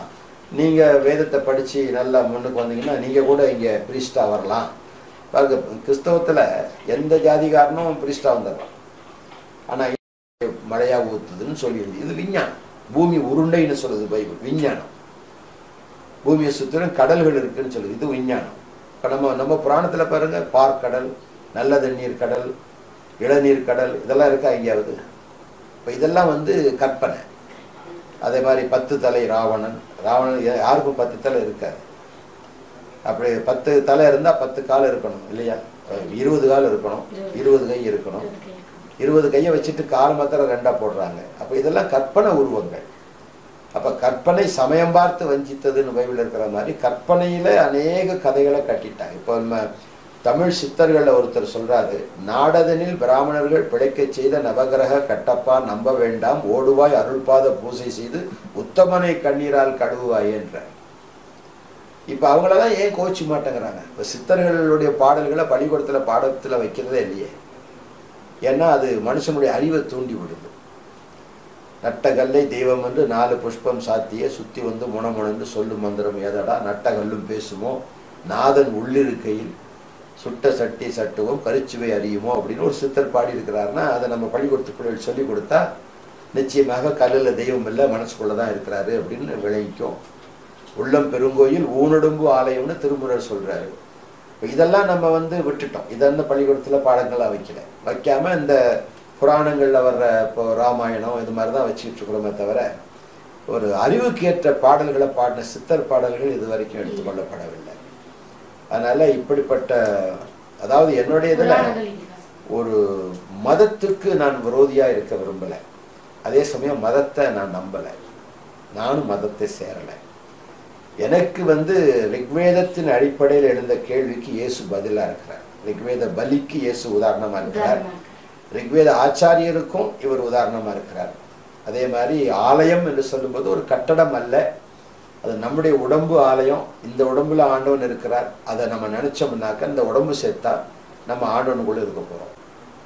இந்திக்கும் இயேசு சொல்கிறார் ஏன்னா ஆரம்பத்துல கல் நடுதல்ல இருந்து படிப்படியாக கூடார அமைப்பு சாலமன் கட்டின தேவாலயம் அப்புறம் புதிய ஏற்பாட்டில் சரீரமாகிய ஆலயம் வருது. முடிவில் பார்த்தீங்கன்னா பைபிளில் பரலோகத்தில் நான் தேவாலயத்தை காணவில்லை இயேசுவே ஆலயம்ன்றார். அப்போ இன்னைக்கு நம்ம ஆலயம் நான் மறித்து அங்கே போனால் அவருக்குள்ள ஆலயம். நான் சொல்றேன் இல்லையா? என் என்று சொல்றேன் இல்லையா? அதான் ஆத்மா. இப்போ நீங்க என் கை அப்படிங்கிற கையை காட்டுறீங்க. என் காட்ட முடியுமா? அந்த என் என்ற நான் தான் இந்த ஆன்மா அப்ப நான் இறந்தால் இந்த சரீரம் மண்ணோட மண்ணா போயிடும். என் ஆவி தேவனிடத்துல போயிடும். இந்த என் என்கிற ஆத்மா எங்க போகும்? அந்த ஆத்ம ரட்சகன் தான் இயேசு கிறிஸ்து. அந்த ஆத்மாவை ரட்சிப்பதற்கு உலகத்துக்கு வந்து வழி காட்டுறார். சார் நானே வழியும் சத்தியம் ஜீவனுமா இருக்கிறேன். பாருங்க நான் அந்த நாளில் ஜெபம் பண்ணேன் அசோதமா சத்கமய தமசுமா ஜோதிர்கமய மிருத்யுமா அமிர்தம் கமய அப்படின்னு ஜெபம் பண்ண. அப்ப அதனுடைய அர்த்தம் என்ன? சத்தியம் இல்லாததிலிருந்து சத்தியத்துக்குள் வழி நடத்தும். இருளிலிருந்து வெளிச்சத்திற்குள் வழி நடத்தும். மரணத்திலிருந்து ஜீவனுக்குள் வழி நடத்தும். மூணு வழி கேட்குறேன் நான் ஆண்டவன்கிட்ட. ஆண்டவனே எனக்கு வழி காட்டும். அப்போ இந்த மூன்றுக்கும் பதில் சொன்னவர் இயேசு கிறிஸ்து. நானே சத்தியம் நானே வழி நானே ஜீவன். அப்ப கேள்வி இங்க இருக்குது பதில் அங்க இருக்கு. அந்த மாதிரி ஒவ்வொன்றையும் பார்த்து வாக்கியோவை பிரம்ம சப்தோ பிரம்ம சப்தாட்சர பரபிரம்ம இது பிரம்மவிந்து உபனிஷத்தில் இருக்கு. இதே நீங்கள் டிரான்ஸ்லேட் பண்ணீங்கன்னா ஆதியில வார்த்தை இருந்தால் அந்த வார்த்தை தேவனோடு இருந்தால் அந்த வார்த்தை மாம்சம் பண்ணார் பைபிளுக்கு அதுக்கு என்ன வித்தியாசம் அப்போ ஒன்றுக்கொன்று ரொம்ப பேரலாக போகுது. கடைசியில முடிவு என்னன்னு சொன்னாக்கா கிறிஸ்து தான் முடிவாக இருக்கிறார் அவர் நிறைவேற்றார் எல்லாத்தையும் நிறைவேற்றார். ஸோ பைபிள் தான் எல்லாமே நீங்கள் பேஸ் சொல்கிறீங்க எல்லாத்துக்குமே பேஸ் வந்து பைபிள் சொல்றீங்க. ஆமா ரொம்ப- ரொம்ப ஓல்டு அது. ஸோ இந்த உலக வாழ்க்கையை. பைபிளுக்கு ஒத்தா போல எப்படி வந்து வாழ்றது ஆஹ் இப்போ இயேசு கிறிஸ்து சொன்ன அடிப்படை உபதேசங்கள். உன்னை நேசிப்பது போல் உன் அயலானி நேசி. அப்போ அந்த ஒரு இதுல எல்லாமே அடங்கிடுச்சுன்றார் இதுல தீர்க்க தரிசனங்களும் ஆகமங்களும் கற்பனைகளும் அடங்கிடுச்சுன்றார் இன்றைக்கு இது செய்ய முடியாதனால தான் மத சண்டைகள் ஜாதி சண்டைகள் மிகுந்து போயிருக்கு. அப்போ இன்றைக்கு நான் வந்து ஒருத்தரை நேசிக்கிறேன். அவன் நான் அவனுடைய ஆள் இல்லாதனால என்ன அவன் கொல்லுவானானால் மனித நேயம் போயிடுது. மனித நேய ஒருமைப்பாடு பற்றி நிறைய பேசுகிறாங்க ஆனால் மனித நேயம்ங்கிறது எங்கே வருதுன்னா நான் ஒருவனை நேசிப்பேன். நான் யாருக்கும் யாரையும் விரோதிக்க நான் விரும்பலை. ஆனால் இதெல்லாம் சொல்லும்போது ஒருத்தர் என்ன விரோதிக்கலாம். நான் அதை எதிர்பார்க்கிறது. எதிர்பார்த்து தான் நான் சொல்லவும் செய்கிறேன் இதெல்லாம் இந்த சத்தியம் இதெல்லாம் இருக்கப்பா இயேசுதான் அப்படின்னா ஒரு மதவெறியனுக்கு அது ஒத்துக்காது. நான் மதவெறியனாக இருக்கிற வரைக்கும் இந்த நற்பண்புகளுக்கு ஒத்து வர மாட்டேன். ஆனால் மதத்தை விட்டு வெளியில் வந்துடணும் மதத்தை விட்டு வெளியே நின்று சத்தியம் எதுன்னு ஆராய்ஞ்சு பார்க்கும்போது அடிப்படை மூலம் வந்து ஃபவுண்டேஷன் வந்து உங்களுக்கு பைபிள் தான் வருது. ஏன்னா ஹிஸ்டாரிக்கல் எவிடென்சஸ்ன்னு எடுத்தீங்கன்னா ஈவன் ஹிஸ்டாரியன்ஸ் கூட இன்னைக்கு பைபிளை தான் ஆதாரமாக வச்சு செய்கிறாங்க லா காலேஜுக்கு போங்க. யாத்திரையாகவும் அவங்க படித்தே ஆகணும். ஏன்னா லா முழுதும் அதில் தான் இருக்குது அவங்களுக்கு ஃபவுண்டேஷனே வந்து எக்ஸோடஸ் தான். லா காலேஜில் அது ஒரு சப்ஜெக்ட் அவங்களுக்கு. சயின்ஸ் எடுத்தாலும் இதில் நிறைய வருது. இன்றைக்கி இருக்கக்கூடிய சயின்டிஃபிக்கல் வேர்ட்ஸ் முழுதும் இதில் பார்க்கலாம். ஆட்டம் முதல் கொண்டு இதில் இருக்குது. அணு என்பதை யோகு புஸ்தகத்தில் அணு இருக்குது சுரங்கம் தோன்றுறது உள்ளே இருக்கிற பொண்ணு வெள்ளி ரத்தன கற்களை கொண்டு வர்றது டேம் கட்டுறது. இதெல்லாம் மலையை பேக்கிறது எல்லாம் பைபிளில் இருக்குது அப்போ இதெல்லாம் சயின்ஸ் படியும். ஜாகிரபிக்கல் படி பார்க்க பைபிளில் பார்த்தீங்கன்னா இப்போது புராண கதைகளில் பார்த்தா இந்திரலோகம் நாகலோகம் அப்படிங்கிறான். அப்படிலாம் இருக்குதா எங்கேயாவது? பைபிள் அந்த மாதிரி லோகம்லாம் இல்லை. இந்த பூமி எகிப்து ஐரோப்பா ரோமாபுரி இந்தியா இந்த பேரெல்லாம் பைபிள் இருக்கு. ஆக ஜாகிரபிக்கலாக சயின்டிஃபிக்கலாக ஹிஸ்டாரிக்கலாக பார்த்தீங்கன்னா அதே சமயத்தில் ஃபிலாசபிக்கலாக தியாலஜிக்கலாக பார்த்தாலும் பைபிள் எல்லாத்துக்கும் பூர்த்தியாக இருக்கு. மற்றதில் அதை நீங்கள் அதை எதிர்பார்க்க முடியாது. மற்றதில் ஆத்மாவை பற்றி சொல்கிற வேதங்கள் இருக்குது ஆனால் மற்றது ஒன்றும் இல்லை. ஃபேமிலி லைஃப் கூட பைபிளில் ரொம்ப கிளியராக இருக்கும் நீ கேட்டீங்க ஒரு கிறிஸ்தவன் எப்படி வாழணும் அப்படின்னு சொன்னால் அவன் பைபிளில் சொன்ன மாதிரி வாழ்ந்தானே கிறிஸ்தவன். கிறிஸ்தவன் பேர் வச்சுக்கிட்டு கழுத்து செயினில் ஒரு சிலுவையை தொங்க போட்டுண்டு பைபிளில் உள்ள பேர் பைபிளில் உள்ள பேர்லாம் கிறிஸ்தவ பேர் இல்லை. பைபிளில் ஒன்று எபிரேய பேராக இருக்கும் அது கிரேக்க பேராக இருக்கும் நமக்கு தமிழ்நாட்டை எத்தனையோ நல்ல பேர் இருக்கு. அதை வச்சுக்காம நம்ம ஏன் அதில் ஒரு பேர் வச்சுக்கணும்? அது பேர் வச்சாதான் கிறிஸ்தவனுங்கிறது கிடையாது. இப்போ பைபிள்லேயே இருக்கிற பேர்ல எத்தனையோ பேர் வந்து கிறிஸ்தவனே கிடையாது. கிறிஸ்தவனுக்கு தனி பேரே இல்லை. கிறிஸ்தவனுக்குன்னு ஒரு பேர் கிடையாது. ஆப்ரஹாம்னா அது எபிரேய பேர். ஒருத்தர் மேரின்னு வச்சுக்கிட்டு அது கிரேக்க பேர். மரியா அப்படின்னு வச்சுக்கிறாங்க. அது கிரேக் பேர். நம்ம எப்படி அது தமிழ் நமக்குன்னு ஒரு பேரை வச்சுக்கலாம். எந்த பேர்னாலும் வச்சுக்கலாம். வாழ்க்கை என்னன்னு சொன்னா எப்படி வாழணும்? முதலாவது பாவ மன்னிப்பு நிச்சயத்தை பெறுகிறவன் கிறிஸ்தவன். ரெண்டாவது பாவ மன்னிப்பு நிச்சயத்துக்காக அவன் ஞானஸ்தானம் பெறுகிறான். மூன்றாவது அவன் வித்தியாசமாக உலகத்தின் போக்கில் போகாமல் அதுக்கு விரோதமாக தான் வாழ்கிறான் எதிர்நீச்சல் போடுறான். நாலாவது எந்த நிலைமையிலும் சந்தோஷமாக இருக்க கற்றுக்கொள்கிறான் சகித்து கொள்கிறான் போதும் என்ற மனதுடனே திருப்தியாக வாழ்கிறான் இதில் முக்கியமானது வந்து அவன் மனம் திரும்பி இயேசுவை ரட்சகராக ஏற்றுக்கொண்டு அவருடைய அடிச்சுவட்டில் நடக்கிறவன். அதான் உண்மையான கிறிஸ்டியன். மற்றபடி இதற்கு விரோதமாக யாராவது இருந்தாங்கன்னா இப்போ கிறிஸ்தவங்களே கொலகார கிறிஸ்தவன் இருக்கிறான் புகைக்கிறவன் இருக்கிறான் குடிக்கிறவன் இருக்கிறான் இருதார மனைவி வச்சிருக்கிறான் ரெண்டு மனைவி வச்சு கிறிஸ்தவன் இருக்கிறான். சூதாட கிறிஸ்தவன் அவனும் கிறிஸ்தவன் கிடையாது. பைபிளில் சொல்கிறபடி நடக்க ஒருவன் முன் வந்தால் அவனை கிறிஸ்து அவன் என்று மற்றவங்க பார்த்து சொல்கிற மாதிரி நடக்கணும் நீங்க சொன்னீங்க ஞானஸ்தானம் எடுக்கணும் அப்படின்ட்டு ஆ. ஞானஸ்தானம்னா என்ன? கிறிஸ்டியனா வரவங்க ஏன் ஞானஸ்தானம் எடுத்தாதான் கிறிஸ்டியனா வர முடியுமா? அப்படி அல்ல. ஆண்டவர் இயேசு சொன்ன அநேக உபதேசங்கள்ல அது ஒன்று உண்டு. அதாவது நீங்க ஒரு புது பிறவையா மாறுறீங்க. மறுபடியும் பிறத்தல் என்று சொல்லும்போது நீங்க போய் தாயின் கர்ப்பத்தில் நுழைஞ்சு திருப்பி ஒரு பிறப்பு அல்ல. இவ்வளவு நாள் வாழ்ந்துட்டீங்க. இது வரைக்கும் அறியாமையின் காலத்தில் இருந்துட்டீங்க. இப்போ ஒரு கிறிஸ்துவுக்குள்ள ஒரு புது குழந்தையா நீங்க பிறக்கிறீங்க. எல்லாமே உங்களுக்கு புதுசாக தெரியுது. கிறிஸ்துவுக்குள்ள வந்த உடனே எல்லாமே புதுசாக இருக்கு. அப்போ இந்த புது குழந்தையாக இருக்கிறவங்க அந்த என்ன நினைக்கிறாங்கன்னு சொன்னால் இயேசு எனக்காக மதித்தார் அதான் ஃபஸ்ட்டு ஃபெய்த்தார் முதல் நம்பிக்கை. என் பாவத்துக்காக இயேசு பலியானார். அது முதல் நம்பிக்கை. அவர் அடக்கம் பண்ணப்பட்டார் உயிர்த்தெழுந்தார். இது மூன்றும் அடிப்படை விசுவாசம் சொல்லும் கிறிஸ்தவத்தில். அப்போ இந்த விசுவாசத்தை கிரியையில் காட்டணும். ஏன்னா கிரியை இல்லாத விசுவாசம் செத்ததுன்னு பைபிளில் போட்டு. அப்போ நான் எப்படி கிரியையில காட்டுவேன்? இயேசு என் பாவத்துக்கு மறித்தது போல நானும் என் பாவங்களுக்கு மறித்தேன். இனி அந்த பாவங்கள் என்கிட்ட வராது. எனக்குள்ள இருந்து செத்து போச்சு. இப்போ மறித்த சரீரத்தை அடக்கம் பண்ணுறான் பைபிளில் சொல்லியிருக்கிறார் அதற்கு ஒப்பனையான ஞானஸ்தானமானது. இப்போ இயேசு கல்லறைக்குள் அடக்கம் பண்ணப்பட்டது போல நான் தண்ணீருக்குள்ள அடக்கம் பண்ணப்படுகிறேன். இயேசுனுடைய முழு சரீரமும் மறைஞ்சிட்டது. அதை விட தண்ணிக்குள்ள முழு சரீரமும் மறைஞ்சிருக்கு. ஆனா அதுக்குள்ளே இல்லை. மூன்றாம் நாள் உயிர் தெழுந்துட்டார் அதுபோல அதுக்கு ஒப்பனையாக அடையாளமாக நானும் தண்ணீருக்கு உள்ளிருந்து வெளியே வருகிறேன். மூன்றாவது அவர் உயிர் தெழுந்து இன்னைக்கு ஜீவனோடு இருக்கிறார். எப்படி? ஆவியின் ரூபமாக இருக்கிறார். அதுபோல நான் மாம்சத்துக்கு வாழாதபடி ஆவிக்குரியவனாய் வாழ்கிற ஒரு சாட்சி வாழ்க்கை. ஆக அந்த மரணம் அடக்கம் உயிர் தெழுதல் இந்த மூன்றுக்கும் அடையாளம் ஞானஸ்தான் அதை இயேசுவை பின்பற்றுற ஒவ்வொருவரும் கண்டிப்பா செய்யணும். இப்போ அந்த ஞானஸ்தானம் எடுக்கும்போது பேர் வைக்கிறாங்க பார்த்தீங்களா? தேவையில்லை. அது அது மாதிரி எதுவும் பேர் வைக்கணும்னு எதுவும் அவசியமே கிறிஸ்து சொல்லல. இல்ல சொல்லல. இப்ப முனுசாமி முனுசாமியாவே இருக்கலாம். முழுசாவே இருக்கலாம். சுப்பிரமணி சுப்பிரமணியம் சுப்பிரமணியம் இருக்கலாம். என் மருமகன் சுப்பிரமணியம் தான் இன்னைக்கும். நான் செல்லப்பா தான் என் பேரை மாத்திக்கல. என் மக லலிதா தான். அவ பேர் மாத்திக்கல. ம- பேர் மாத்துறதுல என்ன இருக்குது?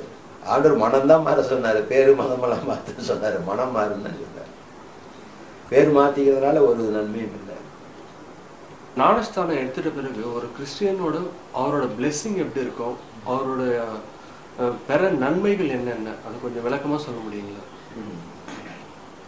ஞானஸ்தானம்ன்றது ஒரு சிம்பாலிக் ஒரு அடையாளம் இயேசு மரித்தார் அடக்கம் பண்ணப்பட்டார் உயிர் தெழுந்தார் இதை நான் ஒரு அடையாளமாக காட்டுறது தான் வெளிப்படையா ஒரு தண்ணீருக்குள்ள மூழ்கி ஞானஸ்தானம்.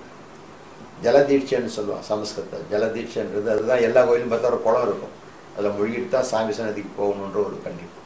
அதை சுத்தப்படுத்துறதுக்கு இல்லை நான் பாவத்துக்கு செத்து அடக்கமனப்பட்டுட்டேன் உயிர் தெழுந்த ஆண்டவனோடு இருக்கிறேன்றதான் இங்கே அப்படியே நிலத்தில் முழுகிறது. அதுக்கப்புறம் புண்ணிய தீர்த்தம் அப்படி இப்படின்னு கொண்டாந்துட்டாங்க. நதி புண்ணிய நதி புண்ணிய சமுத்திரம் இப்போ ஞானஸ்தானம் ஒருவன் எடுத்துட்டா உடனே அவனுக்கு பரலோகம் இருக்குன்னு சொல்ல முடியாது. ஞானஸ்தானம் எடுத்துட்டு கூட நரகத்துக்கு போகலாம். ஞானஸ்தானம் வந்து ஒரு அடையாளமாக கிறிஸ்து மறைத்து அடக்கம் பண்ணப்பட்டு உயிர் தெழுந்ததுக்கு அடையாளமாக கொடுக்கப்படுது